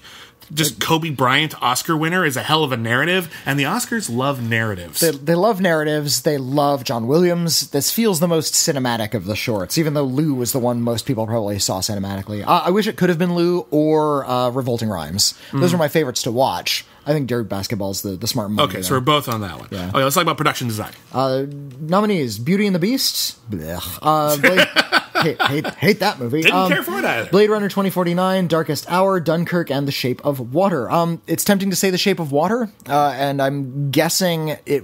The Shape of Water might win the most Oscars, but uh, I'm going against my heart, which is which is not wise, and voting for Blade Runner on this one too. I think um, there's just too too much impressive artistry going into Blade Runner to ignore. I- I even agree. though it was a terrifically unpopular movie. I, I agree that there's too much terrific artistry in Blade Runner 2049 to ignore, Mm. which is why I think the Academy will ignore it. uh, and in fact, I went I went against my heart too. My heart said Blade Runner 2049, a movie I think is very impressive.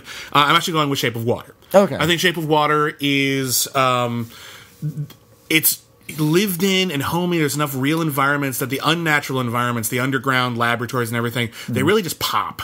Yeah. Uh, in a way that I think they're going to want to reward. And uh, yeah, so for me, uh, that's that's my pick, Shape of Water. Um, let's talk about best original song. oh, you want to do documentary short? Uh, well, and that's not the next one on my list, but sure, we can do that one next. Yeah, let's do all the shorts at once. Okay. Edith and Eddie, Heaven is a Traffic Jam on the 405, Heroin, uh, Heroine, uh, Knife Skills, and Traffic Stop. Uh, again, we talked about these recently. I'm going to go for Heroin. It is the most inspirational of those films. I just think it's the best one. I think it's the most inspirational. I think it's the most well crafted Mm-hmm. overall. I think it gets everything. I think it accomplishes everything it clearly sets out to do. Whereas, yeah, I think you could argue that all the others have certain, you know, production hiccups that maybe Mm. prevent it from having maximum impact. Heroin is also fantastic. Yeah. So yeah, I'm also going with Heroin. It's a great short film uh, about the opi- the opioid crisis. Yeah. Um, so that's a great one. Let's talk about best original song. Now, there's a few categories uh, in this year's Oscars, which I'm actually I haven't seen all the nominees. In this case, I haven't heard all the nominees. Okay. So I'm not going to say who I think should win because it's not valid. I'm going to go with what I've heard, where where the most energy seems to be coming from. Uh, there, there are two categories where I have to do this. there's Uh, there's three where I have to do this. Normally, I try to see literally everything, Mm-hmm. and the last few years I've been able to do that. This year, not so much. So, uh, best original song, the nominees are "Mighty River" from Mudbound, uh, "Mystery of Love" from Call Me by Your Name, "Remember Me" from Coco, "Stand Up for Something" from Marshall, Mm-hmm. and "This Is Me" from The Greatest Showman. And I'm pretty sure this is going to be a horse race between "This Is Me" and "Remember Me." Mm-hmm. This Is Me is this very forthrightly exciting. It's going to be great to watch them perform it on stage. Uh-huh. Just kind of poppy, inspirational song. It's a good song, maybe not an amazing song, but it's a good song.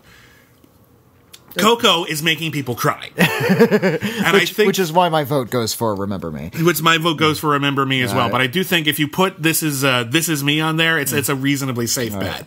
Uh, but I just think "Greatest Showman" they didn't get any other nominations. The Academy isn't that fond of it, so Uh, Coco is probably going to be the film. It's not that great a movie. uh, It's not, I- but it could have gotten like, uh, like I suppose so, production it's- design, costume it's, design. It's a great it's a great crowd pleaser. I loved watching it, but Yeah. yeah, it's it, uh, I have to acknowledge that it's not that great a film. I would say it's between Remember Me and Mighty River from Mudbound, the Okay. Mary J. Blige uh, song. And if Mudbound gets anything, it'll be this.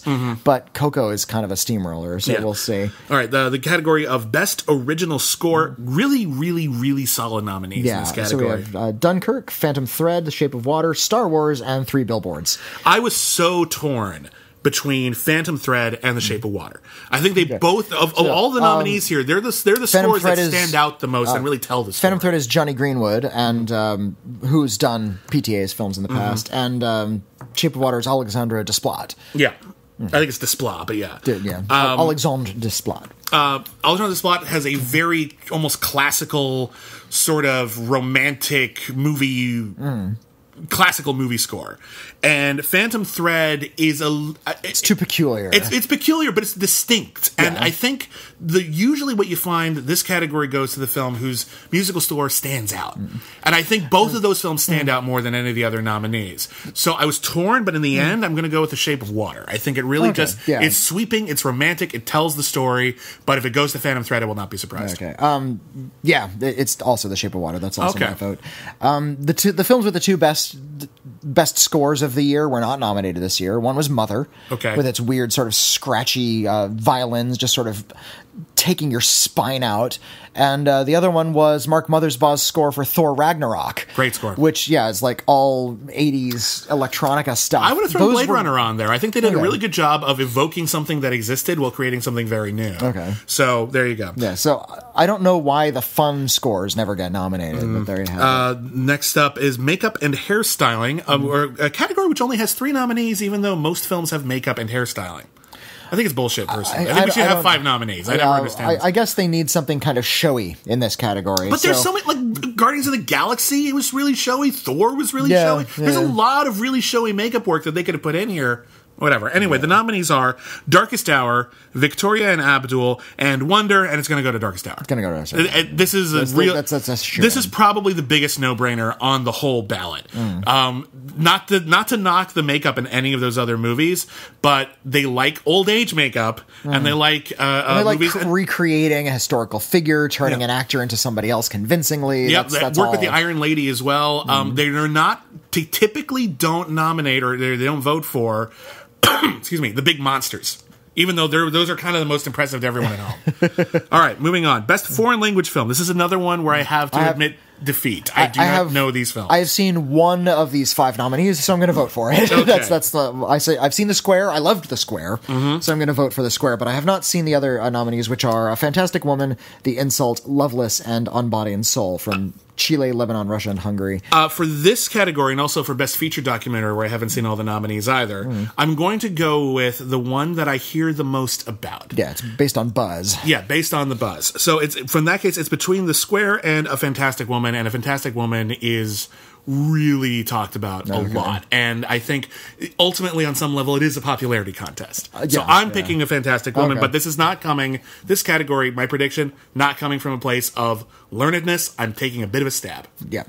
All right, next up, film editing. Uh, nominees: Baby Driver, Dunkirk, I, Tonya, uh, The Shape of Water, and Three Billboards. Um, these tend to coincide with Best Picture a lot. Uh, again, in the last five years, who's to say? Right. But uh, Dunkirk is seems like it's going to be the easy money uh, because.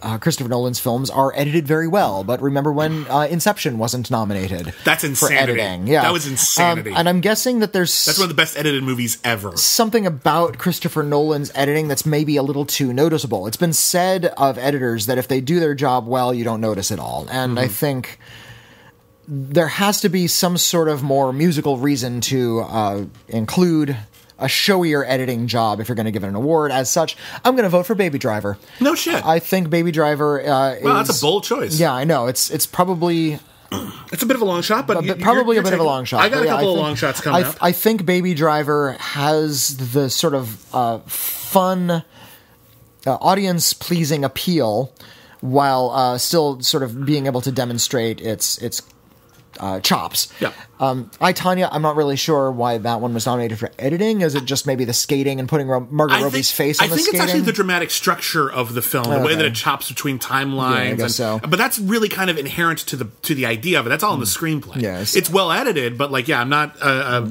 I don't. Uh, that would have been my choice either. Uh, for me, when it comes to editing, it's between Baby Driver and Dunkirk. Mm-hmm. Um, in terms of what should win. Mm. What will win, I think, is between Dunkirk and The Shape of Water, because again, this does usually go hand in hand in Best Picture, but I think this is going to be one of those years where it's not a matter of one thing sweeping it.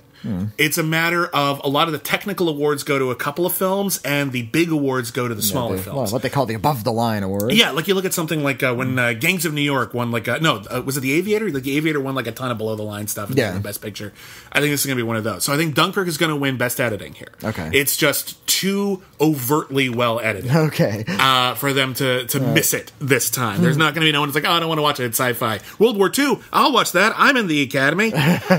so Dunkirk is my pick. Uh, best uh, documentary feature. I have seen zero of these. Same so here. this is just based on buzz, uh, So so, I can't say much about it. The nominees gonna- are Abacus, Small Enough to Jail, uh, Faces Places, Icarus, Last Men in Aleppo, and Strong Island. The one everyone is talking about is Faces Places. Uh, the one that is the most politically salient is Icarus. So I'm going to go for Icarus. Okay. about, about the Russian political manipulation. Faces Places is directed by Agnes Varda, Yeah. who is one of the great filmmakers, and I, to the best of my knowledge, I don't think she has an Oscar. Vis- Visage Visage. Yes. I think she might. She might have a lifetime achievement. I'd have to look I don't that know, up. but like I, I think either way, it's it's just too good. I don't think they'll be able to to avoid giving her that award. Okay. So that's that's my pick. Uh, let's move on to. Do we do costume design? We can do yet. costume design. No, Best costume. costume design. Okay, uh, Beauty and the Beast. This one's really funny because there's actually a typo on my ballot. So I have Ah. Beau- Beauty and the Beast, Darkest Horn, H O U R N, It's a huge typo. uh, Phantom Thread, The Shape of Water, and Victoria and Abdul. Um, people love the, p- the period costumes, don't they? I they really, do. I really wish it was sort of like wild stranger stuff, like you know Thor or whatever. Um, uh, Beauty and the Beast, too opulent, maybe. Darkest Hour, too suity, too many Mm-hmm. yeah, suits. it's mostly suits. Shape of Water, mm, too plain.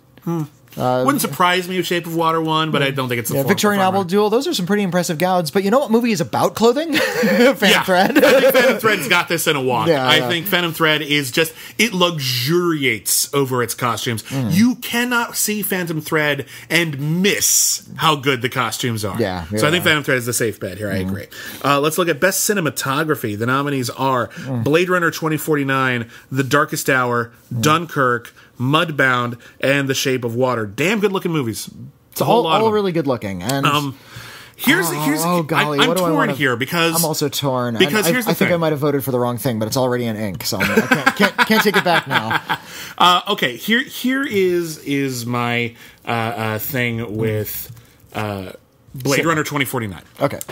Roger Deakins, Who's been nominated how many times? 108? 80, 80 billion times. I want to go over real quick. I want to go over this the the filmography of Roger Deakins, who is probably, uh, arguably anyway, the greatest cinematographer of our time. currently working, yeah. Okay, so Roger Deakins photographed such incredible motion pictures as Blade Runner 2049, Uh-huh. Sicario, Skyfall, True Grit, A Serious Man, uh, No Country for Old Men.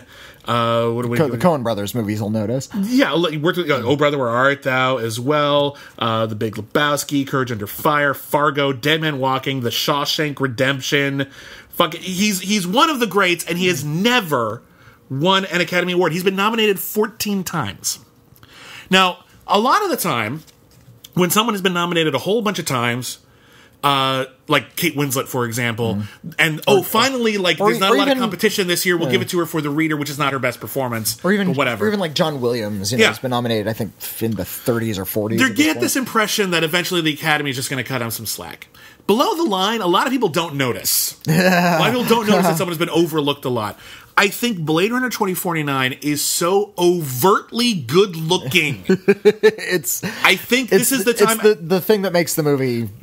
I think any this fun is to his watch at year, all. And I think if it isn't his year, I don't want to be the guy who said it wasn't. Okay. So I, I feel like I'm morally and and also uh, uh, I, uh, sort of ethically obligated because I think it's the best looking movie of the year. Mm. I, I think he has to be the the pick. all right. Well, What do you I? I also picked Roger Deakins Good for for, for uh, 2049. But now that I'm looking at these nominees, I'm thinking it might be The Shape of Water. I think The Shape of Water, Mudbound, or Dunkirk are all really like. I think Darkest Hour is a long shot. Yeah. I think the rest of them, it really could go to any of them. Yeah. Except for Darkest Um, animated feature. Okay. We have The Boss Baby, Mm-hmm. The Breadwinner, Coco, Ferdinand, and Loving Vincent. I've only seen two of these. You know, I actually haven't seen all of these either, so I'm going to refrain again from saying what I think should win. In fact, I haven't even seen Coco. Real. Still haven't seen it. It All just right. never came. It was a long story. Anyway, long, long. It's all right, it's all right. I'm embarrassed. I You know I need to see it, and I up. will. But I think everyone knows Coco is the front runner here, and we're all going to pick Coco. P- picks are, I guess, not always, but Yeah. in the past they typically have been. Okay, let's talk about Best Actress in a Supporting Role. The nominees are Mary J. Blige for Mudbound, Allison Janney for I, Tonya, Lesley Manville for Phantom Thread, Laurie Metcalf for Lady Bird, and Octavia Spencer for The Shape of Water. And I think it's pretty clear that the two frontrunners are Allison Janney and Laurie Metcalf. Yeah. And I was really torn. Because I think if I were voting, I would probably vote for either Lesley Manville or Laurie Metcalf. I would vote for Lesley Manville Yeah. because I love Lesley Manville She's in that movie. She's the the soul, the emotion of that film in a lot of ways. I agree. Uh, but I, I when I came right down to Mm. it, I think I think Allison Janney is going to take it this year. I think Okay. Mm. she's just she's a bit of a scene stealer. I think Laurie Metcalf does some has some huge emotional moments which might sway the Academy, but Allison Janney kind of runs away with a lot of that film, and that's hard to do in I, Tonya. Yeah. What do you think? I, also think Allison Janney Really? will win. Uh, but again, if, on that one. if if I were if I were to vote, I think Lesley Manville should win. I don't know why Octavia Spencer is in there. Not that she gave a bad performance. She just doesn't- she doesn't give a ju- particularly she showy She gives Like, this the same great performance she always gives, and Yeah. there were a lot of other great supporting character moments throughout this year that I would have liked to see rewarded. But here we go. Anyway, uh, so let's the nominees for Best Actor in a Supporting Role are Willem Dafoe for The Florida Project, Woody Harrelson for Three Billboards Outside Ebbing, Missouri, Richard Jenkins for The Shape of Water, Christopher Plummer for All the Money in the World, and Sam Rockwell for Three Billboards Outside Ebbing, Missouri. Like all of my favorite potential nominees for this category weren't nominated. like so, I'm, I'm actually left with a bunch of performances which are good, mm-hmm. but none of them I'm super passionate about. Oh. if I were voting, I would vote for Christopher Plummer. Okay. It it's a hell of a statement, and he knocked that role out of the park with almost no preparation. He's really, really good in that movie. Uh, if I were voting, I'd vote for Richard Jenkins uh, for The Shape of Water. He gives the best performance in that movie. Uh, he's the most interesting character in that movie. I think even the lead character is less interesting than he is. I think he has a, a, a compassion and a vulnerability that would have played better in the center of the film Yeah. than the the Sally Hawkins. All right, uh, but who do you think will win? Uh, Willem Dafoe for sure. Really? Yes. Okay. No, no doubt in my mind, Willem Dafoe. Interesting, because I'm actually voting for. I'm actually. I would not. I would not vote for them. Mm-hmm. Not because I think he's a bad actor, just because I don't think this is a good performance. Uh, I think Sam Rockwell is Oh, okay. steamrolling through all of the guilds, everything, and I think the thing with Three Billboards is a lot of people are kind of torn on the film in terms of how it handles its subject matter, and I think with good because Uh-huh. it's a problematic movie in a lot of ways. Uh, I think if you want to reward the film, you reward the actors in it. Mm. And I think the people who do like the film are going to be able to get to do so with this category and maybe uh, Best Actress as well. But I think Sam Rockwell is going to be the winner in this one. Okay. Well, Will, Willem Dafoe doesn't have an Oscar yet. Willem Just Dafoe does not have an Oscar yet, and he should. I agree. uh, let's talk about Best Actor in a Leading Role. The nominees are Timothée Chalamet from Call Me by Your Name, Daniel Day Lewis for Phantom Thread, Daniel Kaluuya from Get Out, Gary Oldman for Darkest Hour, and Denzel Washington for Roman J. Israel Esquire. It's going to be Gary Oldman. It's going to be Gary. We, Oldman, it's so- another one where it's pretty obvious. Roman J. Israel should be the front runner. I- Denzel Washington gave maybe the best performance of the year. I would say it's between Denzel Washington and Daniel Kaluuya. I love both of those performances Yeah, a lot. yeah. Daniel Kaluuya gives such a brilliant performance, but he's got to give a brilliant performance where he doesn't know what's going on, and he might be too subtle to see just how brilliant all of his choices well- are throughout that entire motion picture. I've noticed that the Academy doesn't like to award, reward performances that sort of are general over the film. They like to get, give statuettes to people who have big moments, Hmm. big speeches, big moments where they break down, big songs, and uh, Darkest Hour is nothing but those. Yeah. Uh, but Roman J. Israel is too. He has a lot of really great moments and a lot of really So great movie. speeches, and yeah, I'm I'm glad that they gave him a nomination. It's a pity that Denzel Washington is not going to be getting an Yeah. award because, goddamn, Denzel Washington. All right, and then uh, best actress in a leading role. This is a really tough category this year. Uh, The nominees are Sally Hawkins for The Shape of Water, Frances McDormand for Three Billboards, Margot Robbie for I, Tonya, Saoirse Ronan for Lady Bird, and Meryl Streep in The Post. All of those are fantastic performances. Yeah, yeah. and again, Meryl Streep has a good moment. Um, one think- one moment that nobody but Meryl Streep could do. I think honestly, I would argue that her role in the post is some of her finest work. Period. Um, But it's there's no Yeah. there's no uh, momentum behind that movie at all. So I don't. well, think, plus it's it's like the compulsory. Uh, Meryl Streep was in a movie. Okay, here's your Oscar nomination. I think this is a three way close race between Sally Hawkins, Frances McDormand, and Saoirse Ronan. not, what about not you? Margot Robbie. I don't think Margot Robbie. I just I If I, if I were if I were voting, I'd vote for Margot Robbie. really Um, okay. I almost voted for Saoirse Ronan. Frances McDormand is my final choice. Um, she's the one who sort of encapsulates the entire theme and all of the rage in that film, and it, she's kind of the reason why people are talking about it. So Yeah. she she gets my vote. Uh, I feel the same way. It's a shame because I really I wanted to pick Saoirse Ronan. but you still can. I still can, but I honestly think just Frances McDormand is kind of dominating the conversation right now. Okay. And again, whatever you say about the script or the direction, she's fantastic. So we got two categories left. Yes. Di- directing and picture. I don't think they're going to go hand in hand this year. I'll tell you so that we have right uh, now. uh, Christopher Nolan uh, for Dunkirk, Jordan Peele for Get Out, Greta Gerwig for Lady Bird, uh, PTA for Phantom Thread. That's Paul Thomas Anderson. Yes. We call him PTA. Shut up. And Guillermo for The Shape, Shape of Water. Um, if I were voting, I'd vote for Jordan Peele. Yeah. or Greta Gerwig. Either Those one are- of those, those are I the would two. be I would be really torn. Those are the two. They're all there's all good work here. Yeah. there's no denying that. Guillermo del Toro will win this Okay, for sure. okay, Mm-hmm. it's a bold choice. Uh, and again, I think again it's a weird year when Shape of Water, a monster movie, is considered the safe Hmm. Oh, Yeah, bet. a fairy tale monster romance. I'm actually going to go with because I think this is the one where I'm going to take maybe not a long shot, but certainly not the front runner. Um, when you look at again the Academy as a, a awards body that likes to craft narratives, um, I think you want to look at what are they going to try to say, and I think they probably couldn't say anything better than giving this award to Greta Gerwig. Yeah, I I think so. I think she gives a great. She directed a great film, but I think on top of that, a lot of people think best director and best picture need to be synonymous. Um, that like if you're the best director, clearly it was the best film, right? Not necessarily. A lot of it's kind of contextual.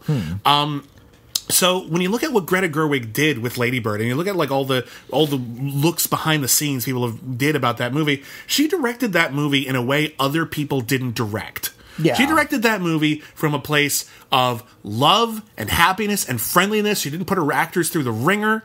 It was a positive experience for everyone involved, and that is a hell of a thing to support right now. Yeah. And I think, honestly, I think she's going to get it. But if it goes to Guillermo, I won't be shocked. And if it goes to Jordan Peele, I won't be shocked. Uh, I, I actually will be shocked if it goes to Jordan Peele. I would not, It's, his- honestly. it's, his, it's his first film. Uh, That doesn't he's, stop He's them. got great. Well, I guess. I guess Kevin not, Costner won a director award for his first film. I suppose so. Like, and that was Jo- Kevin Costner. It wasn't even that good a movie. Jordan Peele hadn't been in too many films before. He, He's Hmm. kind of a neophyte in the cinema world, and I think we're going I think the Academy is still waiting on him in a way. Although, and I think he's making an, another film already, so good All for right. him. And lastly, Uh-huh. uh, for best picture, Uh, Call Me by Your Name, Darkest Hour, Dunkirk, Get Out, Lady Bird, Phantom Thread, The Post, The Shape of Water, and Three Billboards. What's this best? What's this, best picture? This is tough. I do think the safe money, the like, oh, like he'll probably go to this, mm. is probably The Shape of Water. Yeah. However, I think again we're looking at narratives. I like their narratives. I think The Shape of Water feels so weirdly safe right now. Kind of re- retro and Yeah. apolitical. I can see a lot of people putting it on their list because you got to remember, Best Picture, you don't just vote, you rank, Yeah. and that matters. If you put something real low, it counts. But if you put something real high, it counts. And I think Get Out has enough support from people who think it is so fucking brilliant, myself included. Uh-huh. I don't vote, but you know, I, I, I'm part of that group. Uh, that I think it's going to rank so high on so many ballots. I think it's going to shoot it up. All right. And I actually think Get Out. This is a tough call, and again, it's a bit of a long shot, maybe. I think it's going to be Get Out. I think it might be a little surprising to people, but I'm your, going for your it. lips to God's ear because I love Get Out as well. Yeah. Um, I think the the academy. Oh golly, the Academy doesn't necessarily like to go political, especially overtly political. So it's mm-hmm. not going to be the Post, which is a post-Trump movie for sure. Mm-hmm. It's not going to be Three Billboards. I think they like to be political, but they um, like to be political after the fact, and the winners have already been decided. yeah, I suppose so. you know. It's and it's not going to be Lady Bird or Get Out. I, I just for whatever reason, these films don't feel like they have a lot of buzz behind them. I think I hear a lot of buzz for Get Out. Lady Bird. Oh, well. Lady Bird is one of those films. There's a lot of films that get like a lot of love from like critics groups, but then and they get a bunch of nominations, but the Academy just doesn't reward them. Like, um, uh, what was another one? Like The Social Network. It. Oh, got it go. got like a best screenplay, and I think it got best original score. was it for picture too. It was up for it, but Yeah. it didn't win, Oh, did that's it? My, that's my point. Is it didn't like it was a little cold to some people. Like it didn't hit all the things they needed. Lady Bird is not cold, but it's also uh, subtle, and I think maybe it's not. Twee. I, I wouldn't call it twee. I don't think it's. I don't think it's cutesy enough to be twee. I think it's very sincere, and I think it's very forthrightly emotional. I just don't think it, you know, expands very much beyond its place, and that's fine. That's what it needs to be. It's a great motion picture, but I don't think it's going to hit everyone real hard in the feels. And I think it's going to be Get Out is blew so many minds. It was so good. Basically, I think it's between the two horror movies. I think that's a I think that's a good year. If Shape of Water wins, I'm gonna be like, ah, I would have liked it to have been Get Out. But like Shape of Water, be like, holy shit, a monster movie just won Best Picture. What the fuck? Weird. Yeah. So you're going Shape of Water. Shape of Water. Okay. So again, uh, the next episode of the show will come out the Sunday of the Oscars, but we won't know who won the Oscars yet. So we might do like a bonus thing if we can, like a maybe a post Oscars episode, like right afterwards.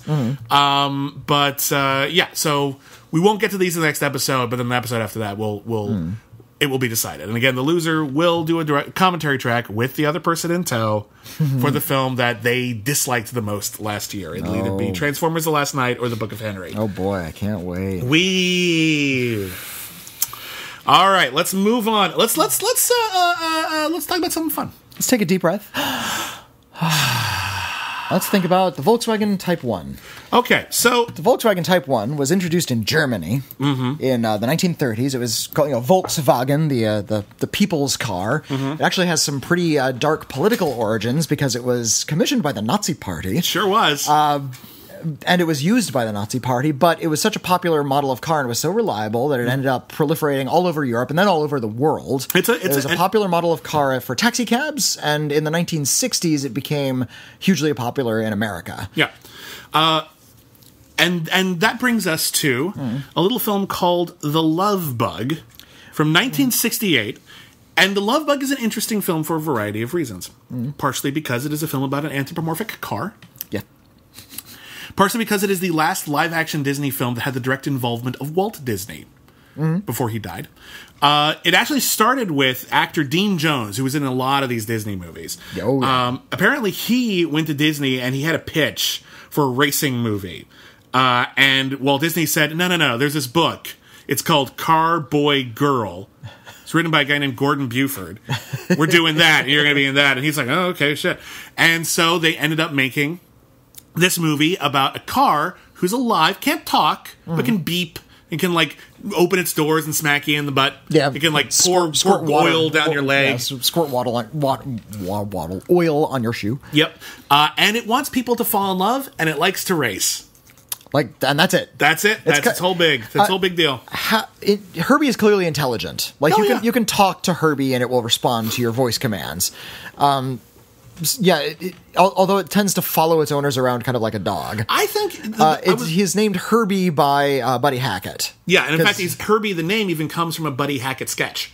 Oh yeah, Yeah, it wasn't originally called Herbie. It also originally wasn't a Volkswagen Beetle. They. No, they- actually. in fact, in this, they don't refer to, they don't use the word Volkswagen until the third film in the series. Mm, it's called They the little car. They call it the little car, and I, I actually read about the audition process for Oh, Herbie. yeah, it's where they, cute, right? They, they didn't know what model of car Herbie was going to be, so they, this living car, so they bought, brought down a bunch of different cars, and they brought out all the writers. Like, well, which car do you think it should be? And they just started looking at the cars, and they, they went up to the cars, and they would like kick the tires and slam the doors and sit down and see how it drove, and then they went up to the Volkswagen Beetle and they started petting it. like, oh, it's round and cute. It's like, Yeah. yeah, we're gonna go for the, the round, cute car. it, it makes uh, a lot of sense.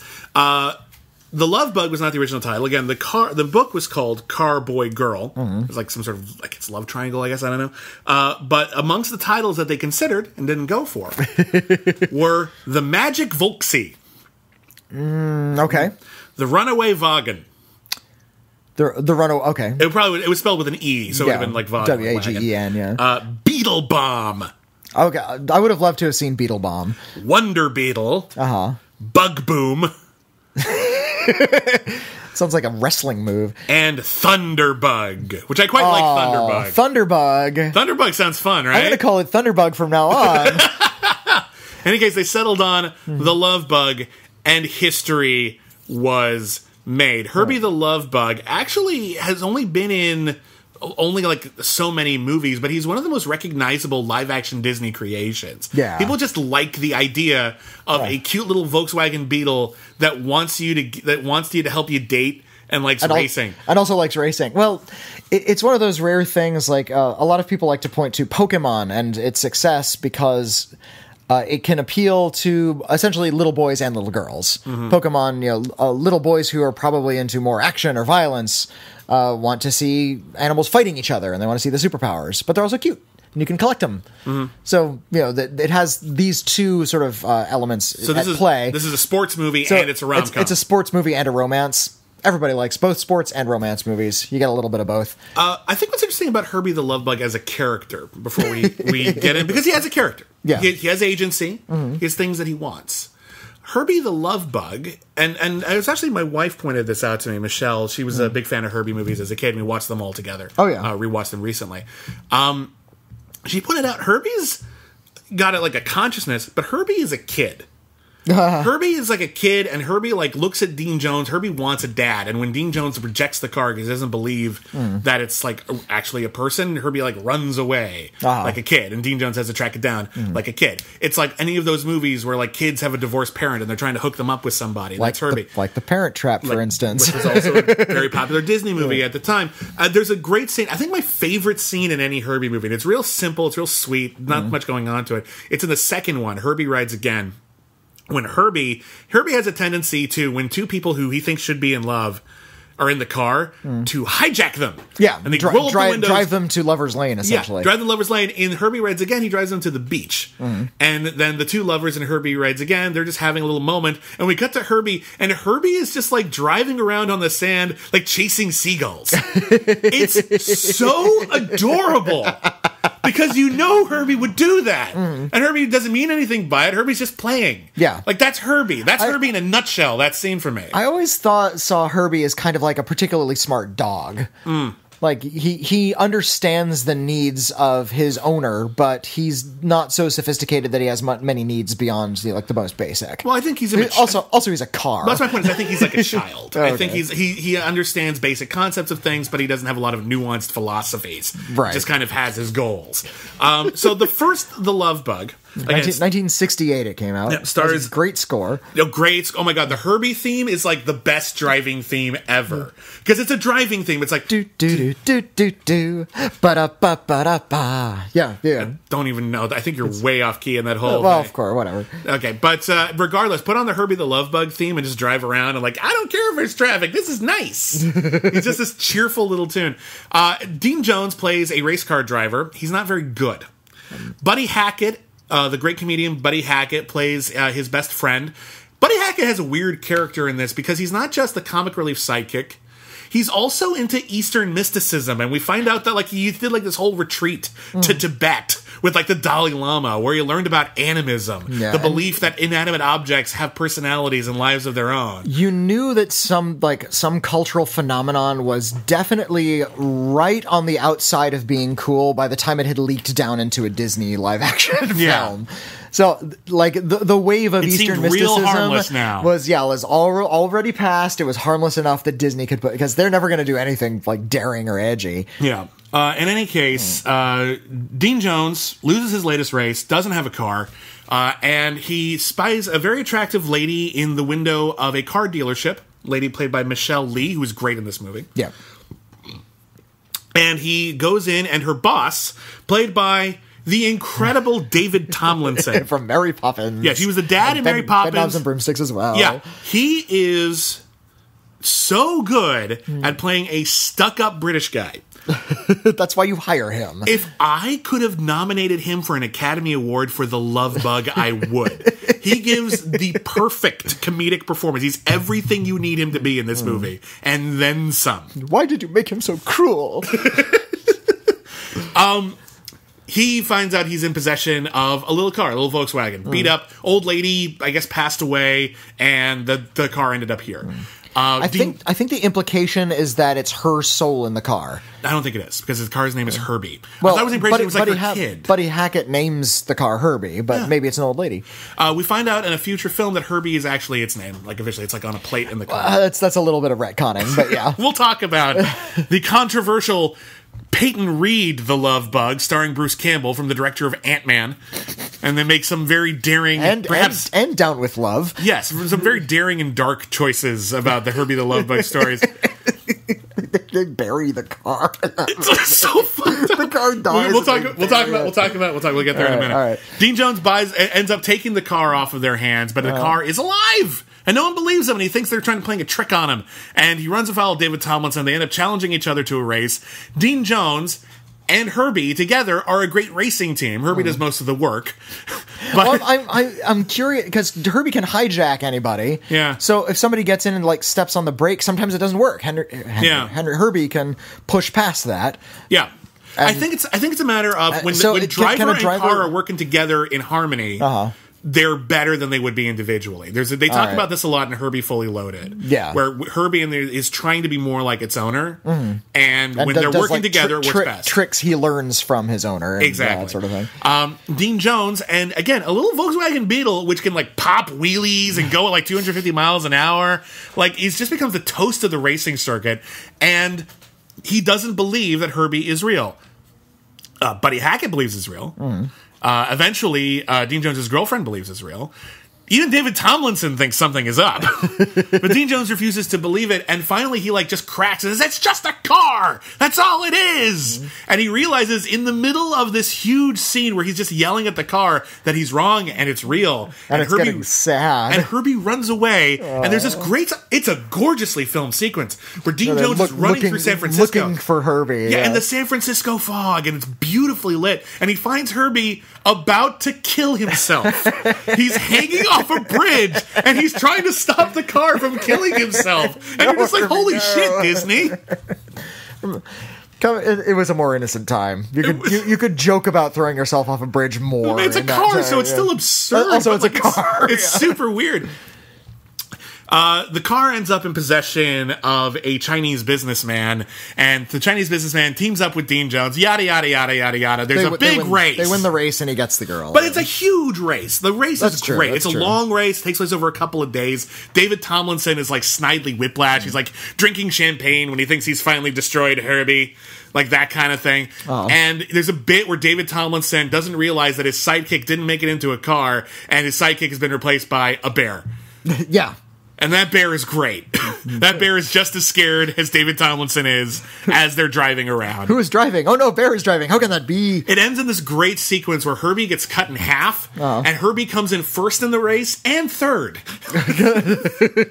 which is a great little bit. It's a fun little stunt. Everyone's like hiding out course, half a car. now you're wondering, wh- wh- is Herbie's soul in both of those halves, or Yes. did it move to one half? No, it's in both. If you were to cut Herbie it- into twenty pieces, The back each- half is working in separately. Okay. It, it's it's going off in its own the autonomous mo- direction. motor's in the back, though. The motor Of is in the back. Really makes you think. Yeah. Really makes you think. Mm-hmm. Herbie the Love Bug, the original, the original Love Bug, is a great little movie. It's it's It's it's really charming, it's really Completely delightful. The worst you can say about it, and it's a legit critique. And if you want to, this totally holds you back from it. I totally get it.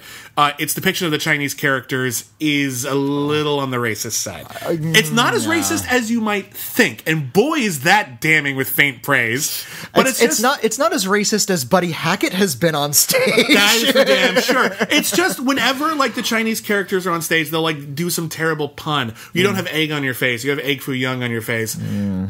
Ha ha ha. Wasn't funny then either. I wasn't alive. Let me tell you something. Wasn't funny. I can tell you that right Wasn't now. funny in It's a 68, it's Stupid not- joke. There's nothing hateful about it. It's just Not stupid and funny 50 reductive. years later, yeah. It's stupid and reductive, and boy, does that suck. But it's actually only like a couple of moments in an otherwise very sweet film. yeah. And I like the Love Bug a lot. Do you like do you like Herbie Rides Again? I mostly do. I- There's Her- things Herbie- I don't like about it. Yeah, Herbie Rides Again came out in '74. It's Mm-hmm. still um, it's still uh, uh, da, da, da. oh no, it's not Dean Jones anymore. It's New Lovers. Dean Jones Yeah, comes back later. Dean Jones is in Europe, I believe. Mm. He no, I think he's in uh, Brazil or something. He's he's traveling the world. yeah, He with, and with, Buddy with Hackett his new bride. Yeah, Uh, and uh, the, Herbie is now staying with Buddy Hackett's mother, yeah. uh, who is played by Helen Hayes. Helen Hayes, the Yeah. great Helen Hayes is Helen. Hayes, the, the dame of the stage and screen. I'm trying to think. What was? The, oh God. and and she, she's not his mom. I think she's like his aunt or something. mom yeah. or grandmother. Um, But yeah, she uh, she has a pretty neighbor, and the main character is uh, is actually the uh, the nephew Hmm. of an evil billionaire who's trying to build the biggest building in the world, played by Keenan Wynn, Keenan Wynn. His character is named Alonzo Hawk, which is a great bad guy and, name. and he plays the same bad guy in The Absent-Minded Professor and in Son of Flubber. I did not know that. Yeah, which I believe Shit, are we should have watched those. which I think are part of the, Medfield uh, verse. the Medfield verse. yeah, Bef- people don't know this. Hmm. Before the idea of a shared universe was popular, there were a few that kind of flew under the radar and no one talked about them. A lot of people know about the Universal Monsterverse. Hmm. We've talked about it on this podcast before already when we did um, uh, the House House of House of, Frankenstein. House of Dracula. yeah. House of uh, Frankenstein. House of Frankenstein. Another one was the Medfield uh, movies, which were a series of live action films produced by Disney, which all kind of took place in and around the same town, the same college. Uh, Medfield, And- Medfield, the fictional Medfield College. yeah, so you had we stuff like. um, now you see him, now you don't. Uh-huh. Uh, Strongest Man in the World. Yep. Uh, and the Computer Wore Tennis Shoes. Uh, and the Barefoot Executive. Those ones all had uh, uh, Kurt Russell. yeah, as the and, same character. And then you had uh, the Absent-Minded Professor movies, and I guess Herbie is tangentially sort of in there as well. because of Keenan Wynn, they, they all I digress. Keenan Wynn plays Alonzo Hawk. He's trying to build this huge building, and it turns out the only building that hasn't sold to him yet is owned by Buddy Hackett's mother, grandmother. and relative. Buddy Hackett's relative, Mrs. Uh, Mrs. Steinmetz, Mm-hmm. she's interesting because she introduces, or at least codifies, what's really going on with Herbie. Mm-hmm. There's a couple of theories in the first film about how Herbie is, uh, uh, you know, people just love him a lot and he became alive. Mm-hmm. Mrs. Steinmetz clarifies that this is a universe in which animism is real, and she has a lot of inanimate objects in her house, which are people. She has like Mm-hmm. a like a, a record player, which is a person. She has like an old like trolley from like the San Francisco trolley Yeah, uh, system in her backyard. Old, old 22. Yeah, like that, that's a person as well. She has a couple of things right now, and she just sort of accepts this as true, Mm-hmm. And you can prove it really easily. and Herbie's been staying with her while Dean Jones has been out and about. This is one of those things where the filmmakers are clearly giving a little too much thought to the mechanics of this because I think people who are watching Herbie are asking these questions. So if they're going to make a sequel, they just have to embrace it. Mm-hmm. It's like now the world knows there's a living car. Well, now we just have to kind of expand on that if we're going to continue to tell this story. So yeah, now there's living everything. This is another conceit that they'll forget as we go on. We don't run into many like other uh, sentient cars or other sentient objects outside of this film yeah. Um, until we get to Horace. no, no, we do. Look, uh, uh, Herbie uh, goes to Monte Carlo has one as well. We'll talk about Oh, that yeah, in a minute. guess so, yeah. um, but yeah, so this this starts getting really, really broad, and by the end of it, he's calling in like an army of Volkswagen Beetles to solve the problem. Yeah. But basically, this is boils down to we have to get the land away from the old lady, and there's a series of misadventures as Alonzo Hawk's nephew, uh, Play- not played by not Tommy Kirk. played by not played by not Uh, Dean Jones. up- Ken Berry is the actor's name. Okay, yeah, Ken Berry, who has really, uh, he's a charming young actor at this time. Really hairy hands. I, I just found him really Hey, distracting. He's just got very hairy hairy, like hands. super hairy, like super hairy hands. Just All right. no, found it a little distracting sometimes. This is the one where Herbie gets to sneak around on like a window ledge. There's a window ledge Big on a skyscraper, and enough Herbie manages to, Beetle. to drive around and chase Keenan Wynn around. That he that is a recipe for death.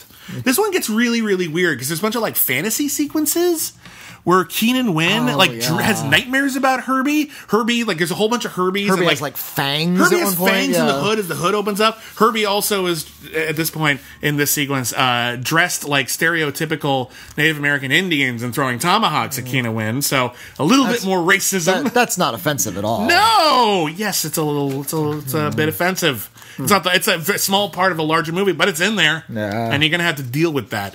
Um, 1974 was a different time.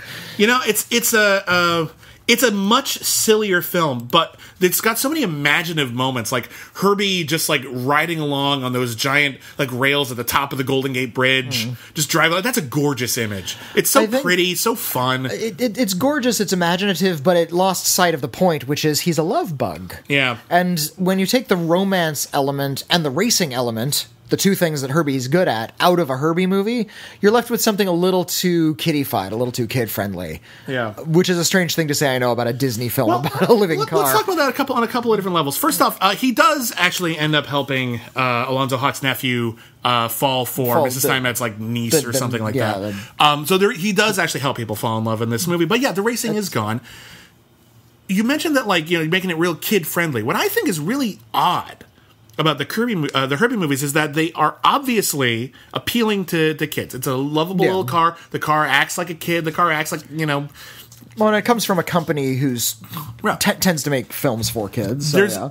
there's a the only Herbie movie in which the protagonist is a little kid is Herbie Goes Bananas. It's always about adults, or in the case of Herbie Full Loaded, teenagers. But like, it's never about little kids. It's about adults with adult Until we get- problems. until, until we get yeah to the It's very strange. Oh god, I forgot his name. The, the Oh, little the little oh. kid from Herbie Goes I'll- I'll look we'll up in a get we'll get to him because we have another film before we get to yeah, Herbie the Goes next film is Herbie Goes to Monte Carlo from 1977. directed by Vincent McEveety. Yes, who did a who lot did of classic TV. everything. A lot did- of classic TV.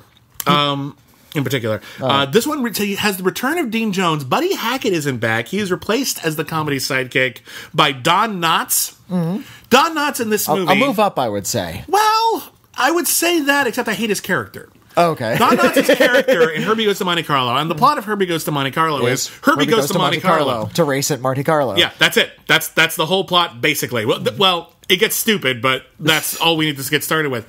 Don Knotts plays a virulent misogynist. Yeah. He hates women, and he talks about how like all the women in his life like walked out on him or kicked him out of the house. And so when Herbie falls in love with a car uh, that is being raced by uh, one of the few female racers of the time. Um, and the car turns out to also be a person. Uh, Don Knotts will have none of this. and when an opportunity comes along to wreck Herbie's relationship mm. by feeding both Herbie and this Lancia, this car that he's in love with, ah. to feed it lies about how the other person in the relationship hates them, 1976 Lancia Scorpion. I'm looking that up right he now. leaps at that chance. He is sadistic and cruel. Hmm. It is a weird performance from Don Knotts because Don Knotts is known as one of the most likable comedic actors ever. He's just hapless and bumbling and charming, and here he's mean. Yeah. It's a weird performance. And a movie that's otherwise is, is perfectly harmless. Um, the the plot kicks in when uh, as they're doing the big intro uh, with with Herbie as they're introducing all the cars. Uh, there is a museum heist and a couple of bumbling uh, uh, criminals steal a giant diamond and they hide the diamond in Herbie's gas tank. And now they're trying to chase Herbie around Europe, trying to get the diamond out of the gas tank. That's the basic gist of it. And, and Herbie knows it's in there but can't get it out because it's stuck in the gas. Like much like Airbud before him, Herbie can only go a couple of films before heists have to be injected into the story. It's never just enough that Herbie is racing. It's always got to have heists. Herbie is. Oh, I would love to see like some sort of test, you know, as to how intelligent Herbie. Like Herbie tries to build his own car. His own That's little, weird. His own little baby. That's actually weird. well, I mean, cars don't mate; they have to build themselves. It's still an so odd thing to sort of bring up. Tries to make a little baby car. and That's then there's a a, weird baby. thing. There's a little baby Herbie. The weird thing I Think that'd be started, cute. the weird thing I started noticing in Herbie Goes to Monte Carlo, and this is this is persistent in all the other Herbie movies to come. Hmm. The premise of Herbie the Love Bug is that Herbie is after the first film a world famous novelty car. Yeah. like he's a Volkswagen Well, Beetle. That's a that's a powerful racing car. He's a world famous racing car, and yet the premise of every uh, subsequent movie from this one on is was- he's world famous and nobody knows him. Well, nobody knows him, and in fact, he's like found in junk shops and stuff. And people say, "Hey, wait a minute, that's that car." It's How like, did he? Who let that car out of their sight? That car is important. that car should be in a museum at Well, least. I, I guess I understand if you look at like famous pieces of art. Like this is a famous, but like during a war, maybe like a famous painting will like like squirreled away in somebody's basement, or. But it's somebody doesn't a know what couple it, of years somebody do- later. like a soldier doesn't know what it is, and he steals it, and it's just in a guy's This, apartment this for decades. A, this isn't know, a 200 year old Vermeer. This is a car that was famous last year. it's, it's true. It's and, not- and especially when from Monte Carlo onward, a lot of the characters are into racing. and they they would know about Herbie. They would have at least like, oh, isn't it interesting? There's a Volkswagen Beetle that can pop wheelies and go 250 miles an hour. Um, that's wait, that's happened before. How do I know that? there would at least be that moment like, how did, that sounds so familiar Um, to me. Eric Braeden is in this film, Hmm. along with a few other notable like British character actors like Roy Kinnear and Bernard Fox. Um, it's great to see all of these sort of like international stars together in this kind of goofy race film. Herbie is the whole franchise is just this wonderful, wonderful excuse for comedic side actors to get work. That's much. basically it. If you were if you were a, like a comedy actor, a guy who shows up as like the third or fourth lead in something, goes what? Herbie was a gift to you. You just got to look at that car and go, "What? Oh my god!" And, like every scene is gold. Where's my monocle? Yeah. uh, the tagline was "The love bug turns the great race into a Herbie Derby." I'm going to say that again because I like to. Herbie Derby. Nice.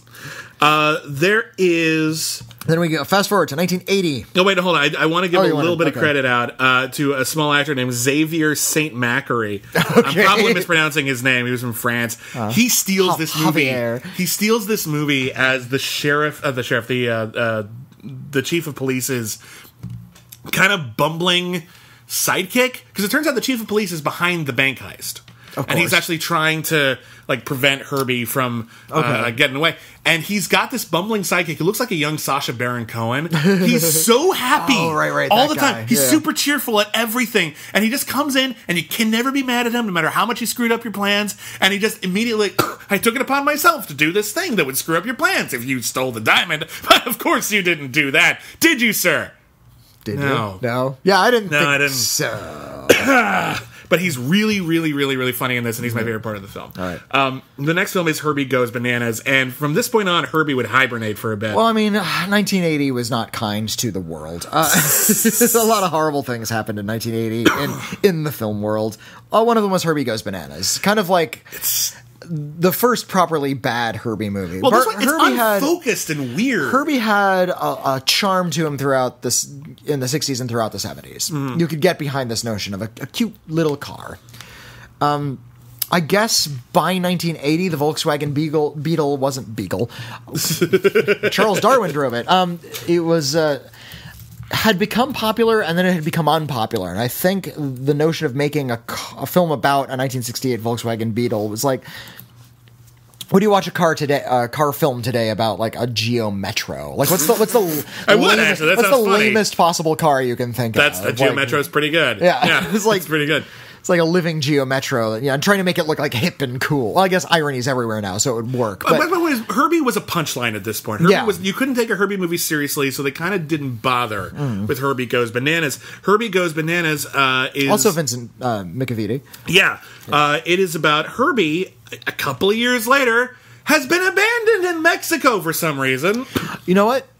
This is actually true to history. A lot of Volkswagen Beetles, they were such reliable cars, but they were really unpopular that uh, Volkswagen started not just shipping American Volkswagens that they had bought back, but uh, were manufacturing Volkswagen Beetles for use as taxi cabs in Latin America. Again, he's a famous car. He's a famous car, but he's just a Volkswagen Beetle at this point that nobody cares about anymore.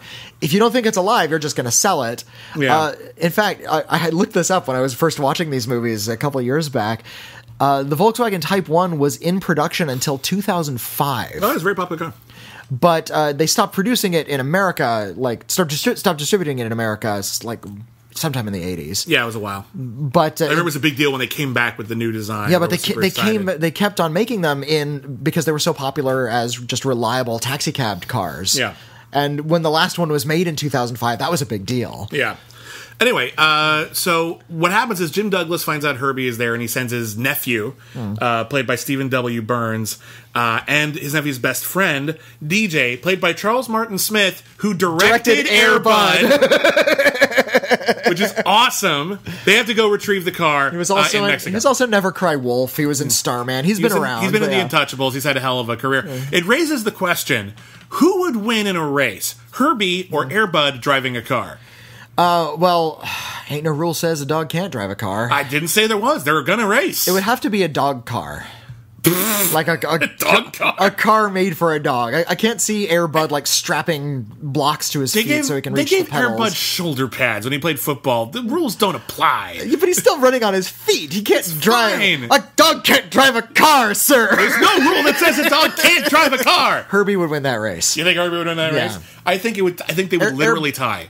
You think so? I think it would literally come mm. down to a nose, and like Airbud just like runs to the front of the car and boom, mm. nose tie. Her- Herbie would win because there was a bomb in Airbud's car that he didn't know about, oh, and Airbud had to leap out at the last minute. There's a big heist. and you then don't they understand. skid over. They skid over the finish line, and Herbie pops his front truck, and there's a bunch of puppies inside that he was keeping safe. Oh. anyway, these guys they pick up Herbie, but they uh, they run afoul of a young pickpocket named mm. Paco. Uh, who Paco. Paco That's his name. I steals their wallet. The character's name. Paco yeah. steals their wallet, but he also steals the wallet of John Vernon, great character Mm. actor John Vernon, uh, who you may recall from Animal House. Uh, he put them on double super secret probation. Yeah. John Vernon uh, has microfilm in his wallet that will help him find Aztec gold. And Paco steals that, and Paco ends up befriending Herbie, and Herbie and Paco go on the run. John Vernon is weirdly intense in this movie. Like I just He's- rewatched it. He's, just he's playing the role that was given him. But like he's taking it seriously. You look at like David Tomlinson is playing like a funny version of it. Keenan Wynn is playing a funny version of it. John Vernon actually scares me in this movie. John Vernon, it's like John Vernon will shoot me in the face if I steal his wallet. Like that's what I'm genuinely afraid of. Um, I I don't like Paco. I mean, just the the in, infusing a little kid into this is just not don't- wise we- because Her- the kid can't drive. Well, the not does all the inter- driving, Well, I it's understand, fine. but you know he's not interested in racing. He's not a gearhead. He doesn't care about the car. He just thinks it's cute and he can talk to it and it kind of beeps words at him. He calls him Ocho because there's the number fifty three on the back, And that Why- adds up why, to the number eight. Why he doesn't call him fifty three? I don't know. I don't know. My thing with Paco is this. Paco doesn't want anything. That's the thing. That's the thing hmm. that bothers me. He's I'm okay with having like a kid protagonist in a kids movie. Why wouldn't I be? It makes sense. Hmm. You got to make sure there's a reason for the kid to be there. The other Herbie movies, Herbie was the kid. He was trying to help adults do things. Hmm. Here we have a kid. How is Herbie going to connect to that kid? Is Herbie going to be like the father? Kid doesn't really ask for that. Kid doesn't right. want that. Kids, kids just serves him as like their friend, and they just go off on adventures and they hang out. Neither of them are getting anything out of this. Herbie doesn't do any love bugging in this. There's a whole subplot with these two like you know dweebs who Love pick up. Love bugging is a great disco hit from 1974. the two dweebs end up like taking Herbie onto a cruise ship with the great Harvey Korman as the captain, who thinks he's Captain Bligh.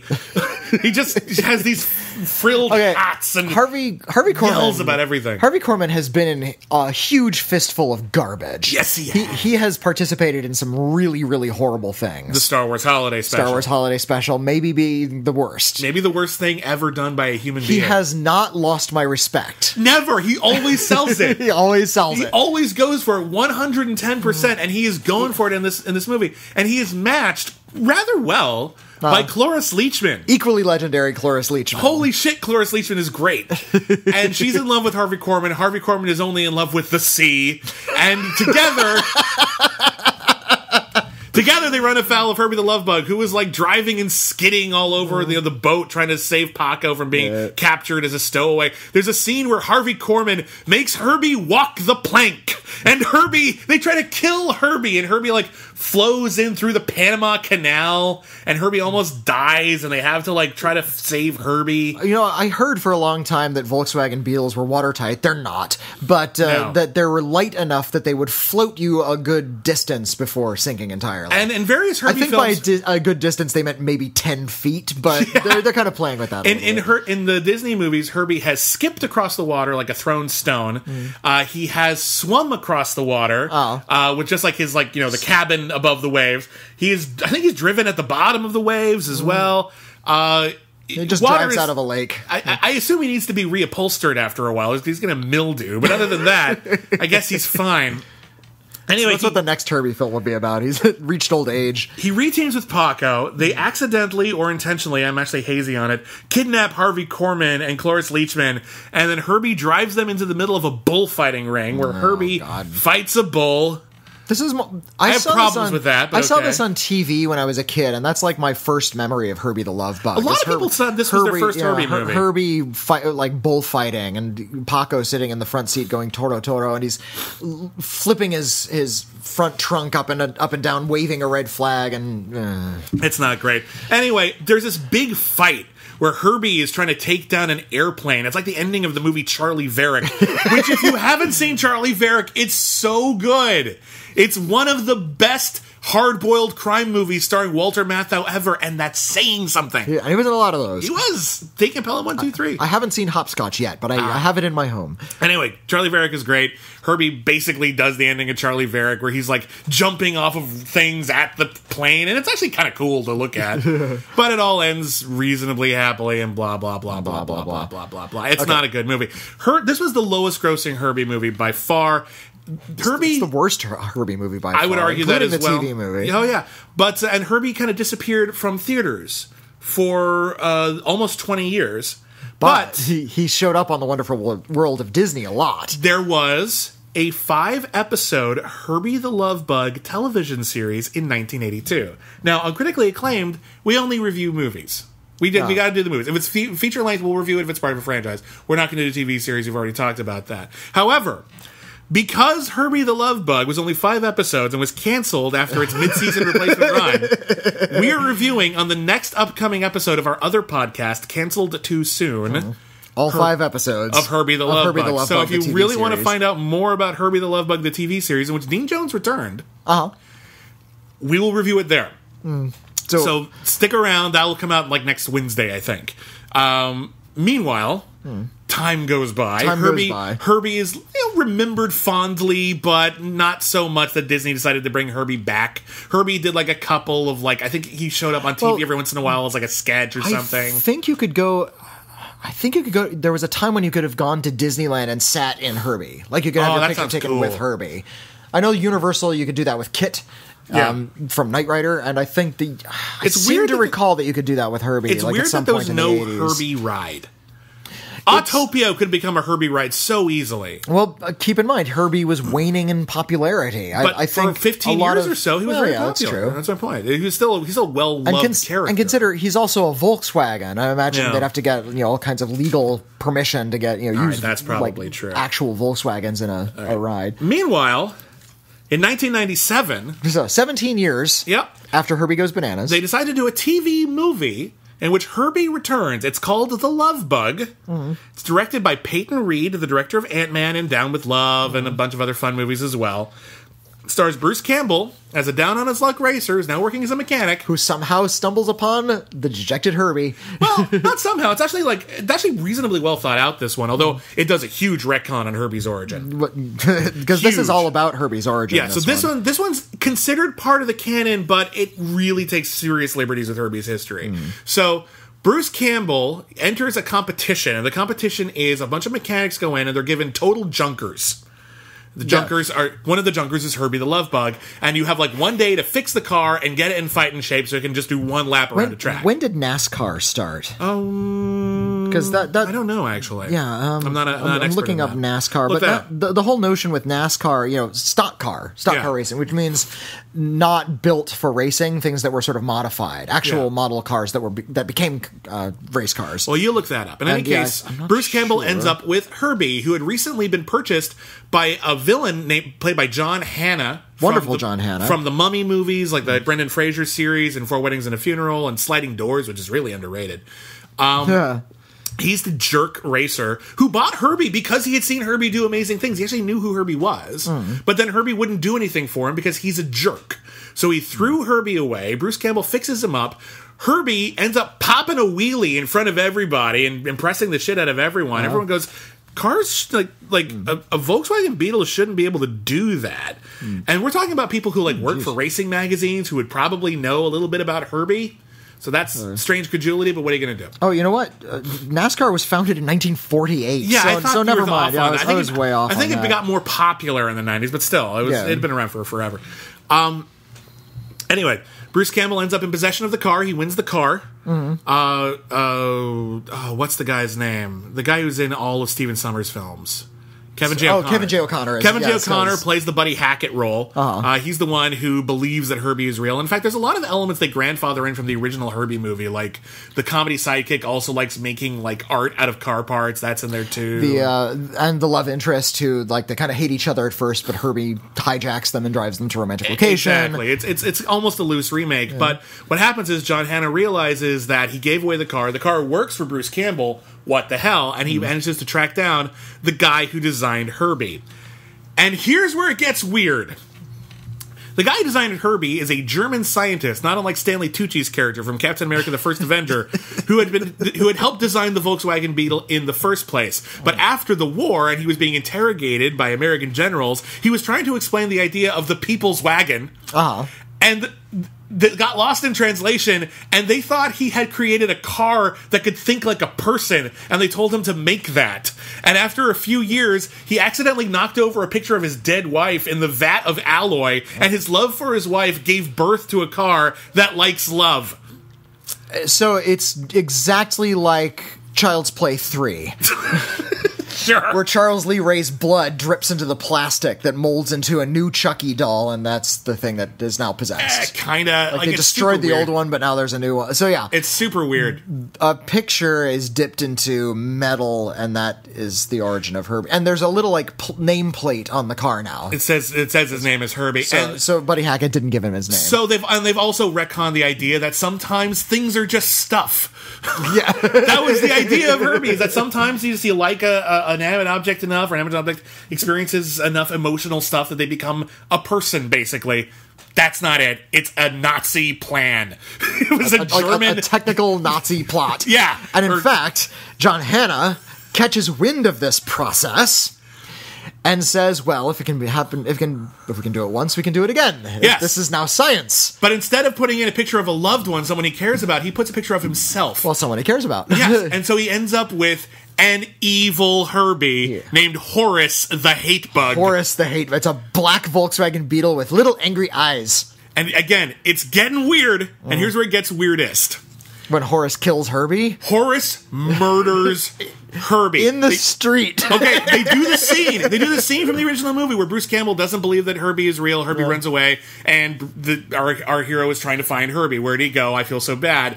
But instead of like catching up to Herbie and reconciling, catching, catching him from suicide. Dana Gould, comedian Dana Gould, who's who- playing the villain's sidekick in I this think, one. I think he has two lines in this movie. he has, a, he has a few. He's not. Okay. He's, he's a small role, but he has more than a few lines. Um, but the, the murder the murder is a reaction shot of Dana Gould. Yeah. So it it's, down. it's the greatest moment in this film, actually. It, I actually was genuinely disturbed by this moment. I actually don't like this moment. It actually Okay. messed me up because it's bizarre, Oh. but like it's super weird. So Herbie is like cowering, like all nervous and, jing- and jangling Mm. in an alleyway, and Dana Gould just says, "Sick him, Horace." And then you hear Herbie beeping, like in pain, and you hear like, No, all these crunching no. noises. And then Bruce Campbell finds Herbie in pieces, dented, ruined, dead. Murdered. And Bruce Campbell is like on top of him, going, "No!" And then there's like a cut to a commercial break, and then it cuts to Herbie's funeral, and they put him in a coffin, and they're gonna bury him. Holy shit! well, uh, the moment I was talking about was not the murder itself, which is you're just absurd. It's absurd, but It's they, a car they, they play it out like it's pain. Herbie was a cartoon character before you could cut we half see and put it back together. we see a lot This of death. we see a lot of the, that murder from Dana Gould's perspective, and there's this one really long reaction shot of Dana Gould just acting as well as he can, like trying to like he's wincing and like whipping his. Ooh, ah, That's ooh. gotta hurt. I would love to talk to Dana Gould about that moment. Like, what are you imagining in that moment? What are you witnessing? Can we watch that on a loop? Just you going, ooh, ah, yeah. But Herbie's dead. Yeah. they bury him. Who should come to his funeral? But Dean Jones. Yeah, playing his original character the from the Herbie movies. So we're in continuity. Yeah, Dean Jones says that Herbie can be fixed. He's He- just a car. You can rebuild a car. we just have to use his original part, which is a new wrinkle, but whatever. So they Mm. actually have to go to Mickey Yay! the Monkees, who owns, who makes his own weird prop cars. At one point, he's driving around a car that looks like a shark.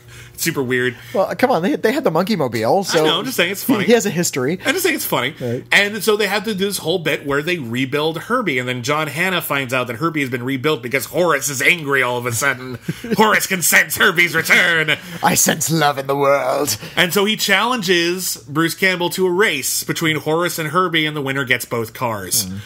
I don't know why Bruce Campbell says yes to this. There's no, also- there's nothing at stake. John Hannah has no claim on Herbie. Well, and, Like, and, and what is he going to do with Horace? Like he has no plan. It's like, and if we get Horace, we can turn him into another love bug. No, there's nothing. They have no plan for Horace. It's this weird. There's this bit in like Scott Pilgrim, and I'm trying to remember if it's only in the comics or if it's in the movie as well, where like they're challenged, like, "Oh yeah, you have to come meet us in this alleyway at midnight to have our big fight." And then at one point, Ramona just says, "Why are we letting people we don't like tell us what to do? we don't have to go do that. Let's just not."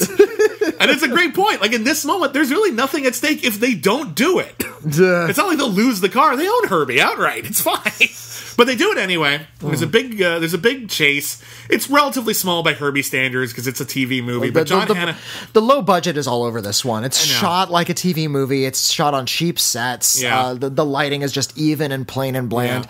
Uh, and even Bruce Campbell, like I don't feel like his heart is in this one. I don't feel like it's hard to it, but he doesn't phone it in either. Like he's perfectly charming. He's everything the movie needs him to be. He's got a really good chemistry with what's her name here, Alexandra Wentworth, uh, who plays his love interest. Um, and also she has a lot of great speeches about like it gets a little meta about oh is this the scene? Is this the moment? Is this the moment where I tell you to to to to buck up and like be the man, be the hero. Well, I'm not that girlfriend. Right? She's good at that stuff. Yeah. She sells it really well.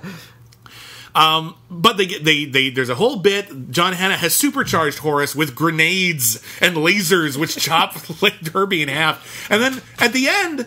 They do the same ending where Herbie is uh, he's chopped in half vertically this time rather than horizontally, but like Herbie comes in first and third in the race, which I think should make it a tie, but whatever. And so they win, and Horace the Hate Bug freaks out, tries to kill them all, ends up driving off a dam, driving through the ground, and there's like this huge explosion, like it went straight to hell. I, I think that was the implication was that Horace drove into hell. Super weird. I would love to see a, a like a sequel in like 2018, like in the present day, where Horace? it opens with like the ground opens up and just flames spew out, and you see this like ashen shell of a Volkswagen Beetle kind of drive out. Herbie returned eight years later in the 2005 feature film released in theaters, Herbie Fully Loaded, starring Lindsay Lohan. It was directed by Angela Robinson, who's a filmmaker I think is really neat. She's behind the L word. Uh, Uh, she did the L word. Uh, she did uh, that uh, that uh, I- that spy comedy Debs. I didn't see Dad. She also wrote and directed Professor Marston and the Wonder Women, which was a very bold.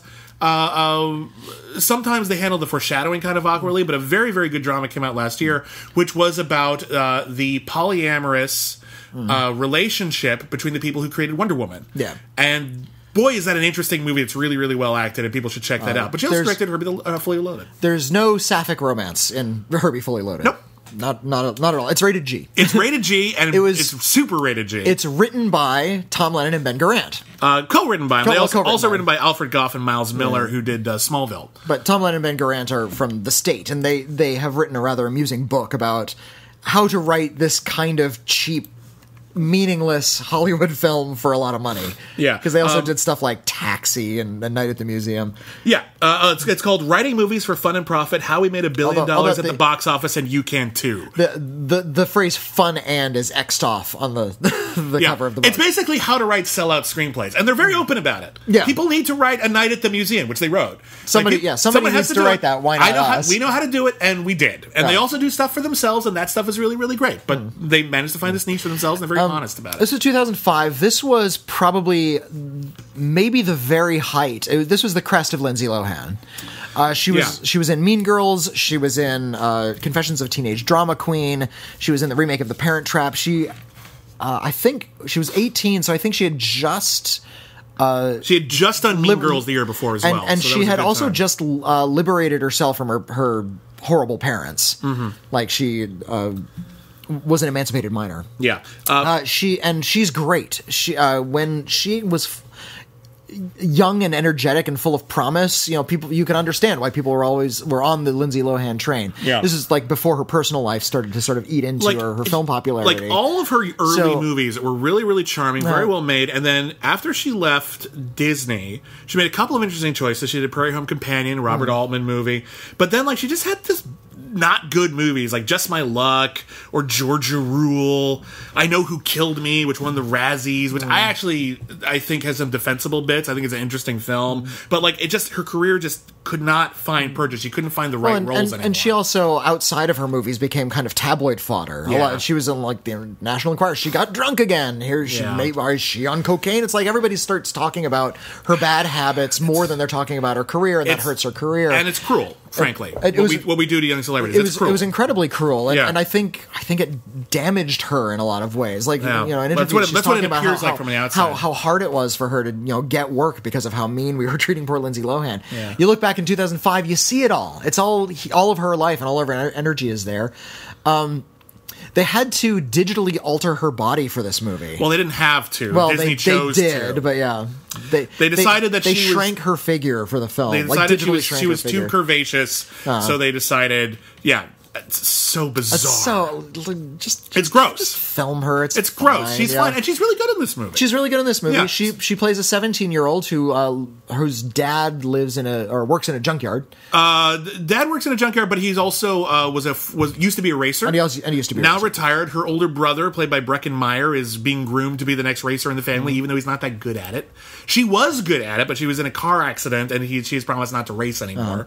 Uh-huh. uh for her graduation present, she's going to go to college in a couple of months. Uh, her dad, played by Michael Keaton, at kind of a low point for Michael Keaton's career, but he's good in this. yeah. Uh, he decides to get her a car, but they can't afford much, so they get a junk car. Hmm. And uh, Herbie is like sees her, and he's desperately trying because like the guy who owns the junkyard hates him, and he's going to destroy Herbie.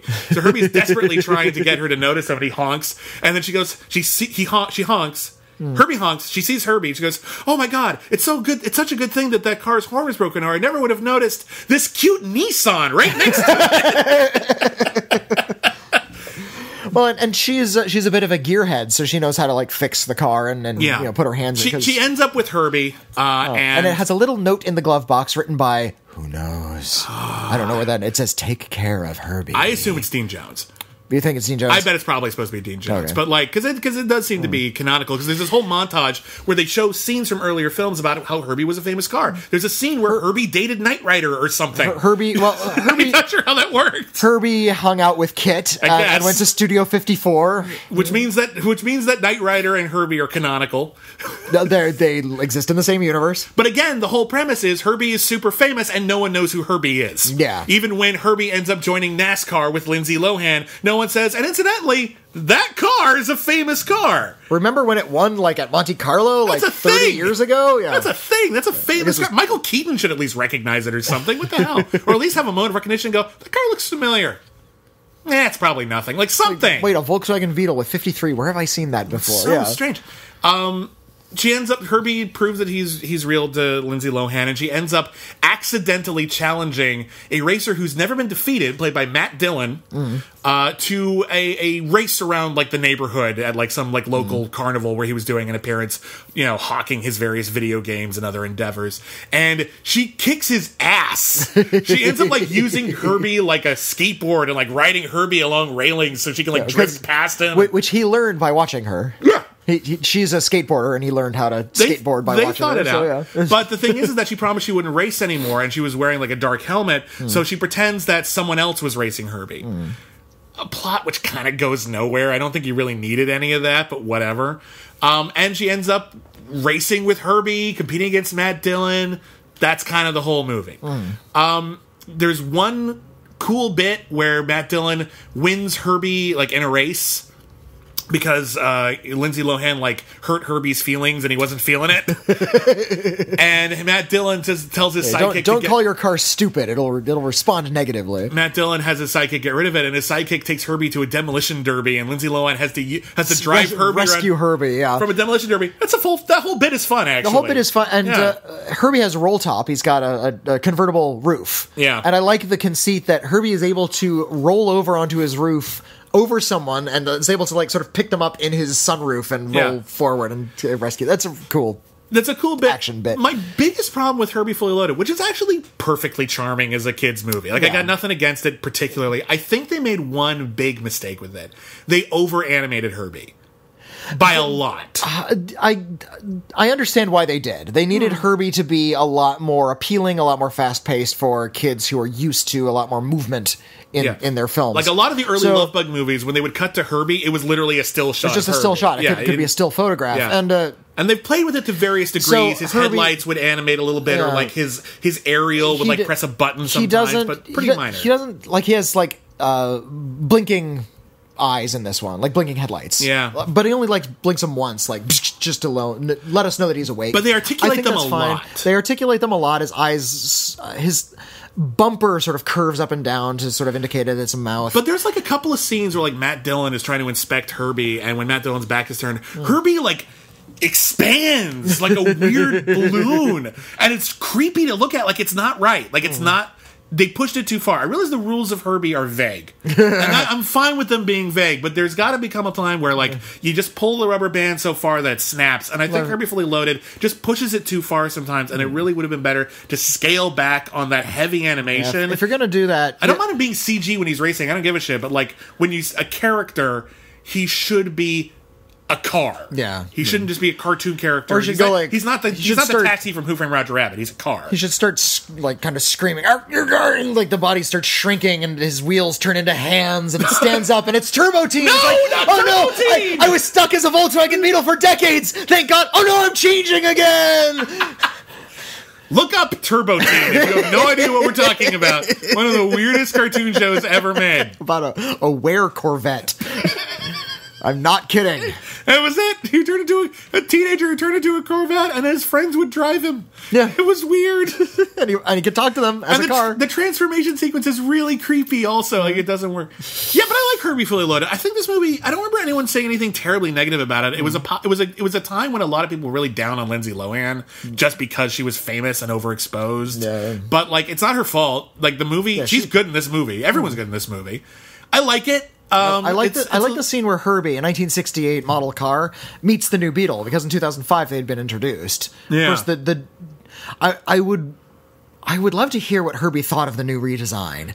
Because I remember a lot of people were really down on the redesign. It came out in like 98, Well, he 99 ends or up- he ends up something. dating that car. well, no, he, he ends up like kind of flirting with the car, but then Lindsay Lohan says, she's too young for you. But it Herbie." ends. You know, it ends because that Beetle is actually uh, owned by Chelsea Handler, who's Right. friends with Michael Keaton's character. And the, and the one of the last scenes in the movie is Michael Keaton saying like because Lindsay Lohan ends up in a relationship with Justin Long. Hmm. That's fine. They're both charming actors. but like it ends with like Michael Keaton talking off camera. It's like you know, okay, you guys be careful with her. I don't want you getting any handsy or anything. You know, all that that dad speech. But it turns out he's talking to Herbie and the other Volkswagen. I think you might have forgotten that bit. But yeah, that's that's that's a thing. Don't want your cars canoodling. It's a weird, weird bit. Herbie's a weird character Uh-huh. in a weird franchise. And honestly, you know, again, some of the earlier films suffer from being a product of their time, and a lot of things that happened in their time were kind of shitty. Uh, but they're mostly very charming, likable movies. Like the only one I would say don't go out of your way to see is Herbie Goes Herbie Bananas. Goes Bananas, Like yeah. it's just it's not particularly and, good. and you have to go out of your way to find the 97 version. It's kind of hard to track down. you but- can find it online if you know where to look. but like it's well- it's available out there. you have a VHS. We, we watched it on VHS. like the official Disney VHS. Um, but yeah, it's a cute little film, Hmm. um, and they're they're all fun. And I think uh, I, I thank everybody for picking a nice, lovable, likable something, something that's kind of sweet. Um, the for a franchise rest review. the the um, the idea to move forward here, of course, there it's been announced that Herbie's going to have another TV series. That's the plan. I That's haven't the heard anything plan, about it in a long time. But yeah, and uh, that Herbie was going to talk in this one, which is a mistake. Again, you can pull him too far. He stops being Herbie after a while. At that point, he's just speed if, buggy. if you're going to make Herbie talk, you have to put him in the Cars universe. Hmm. I think there should be like Disney has already co-opted Cars in the Planes movies. They could do on a Cars film on their own. I think they Uh. could do a Herbie the Love Bug about just talking cars, and Herbie is you know takes the Lightning McQueen role. I think I'd rather see that as like a TV special than something super canonical. For Hmm. me, I, I think what I would like to see, I Uh-huh. think it's actually be a good idea. If you really want to do like a big Herbie thing, I think you just bring Herbie back. Just people still like the car. Hmm.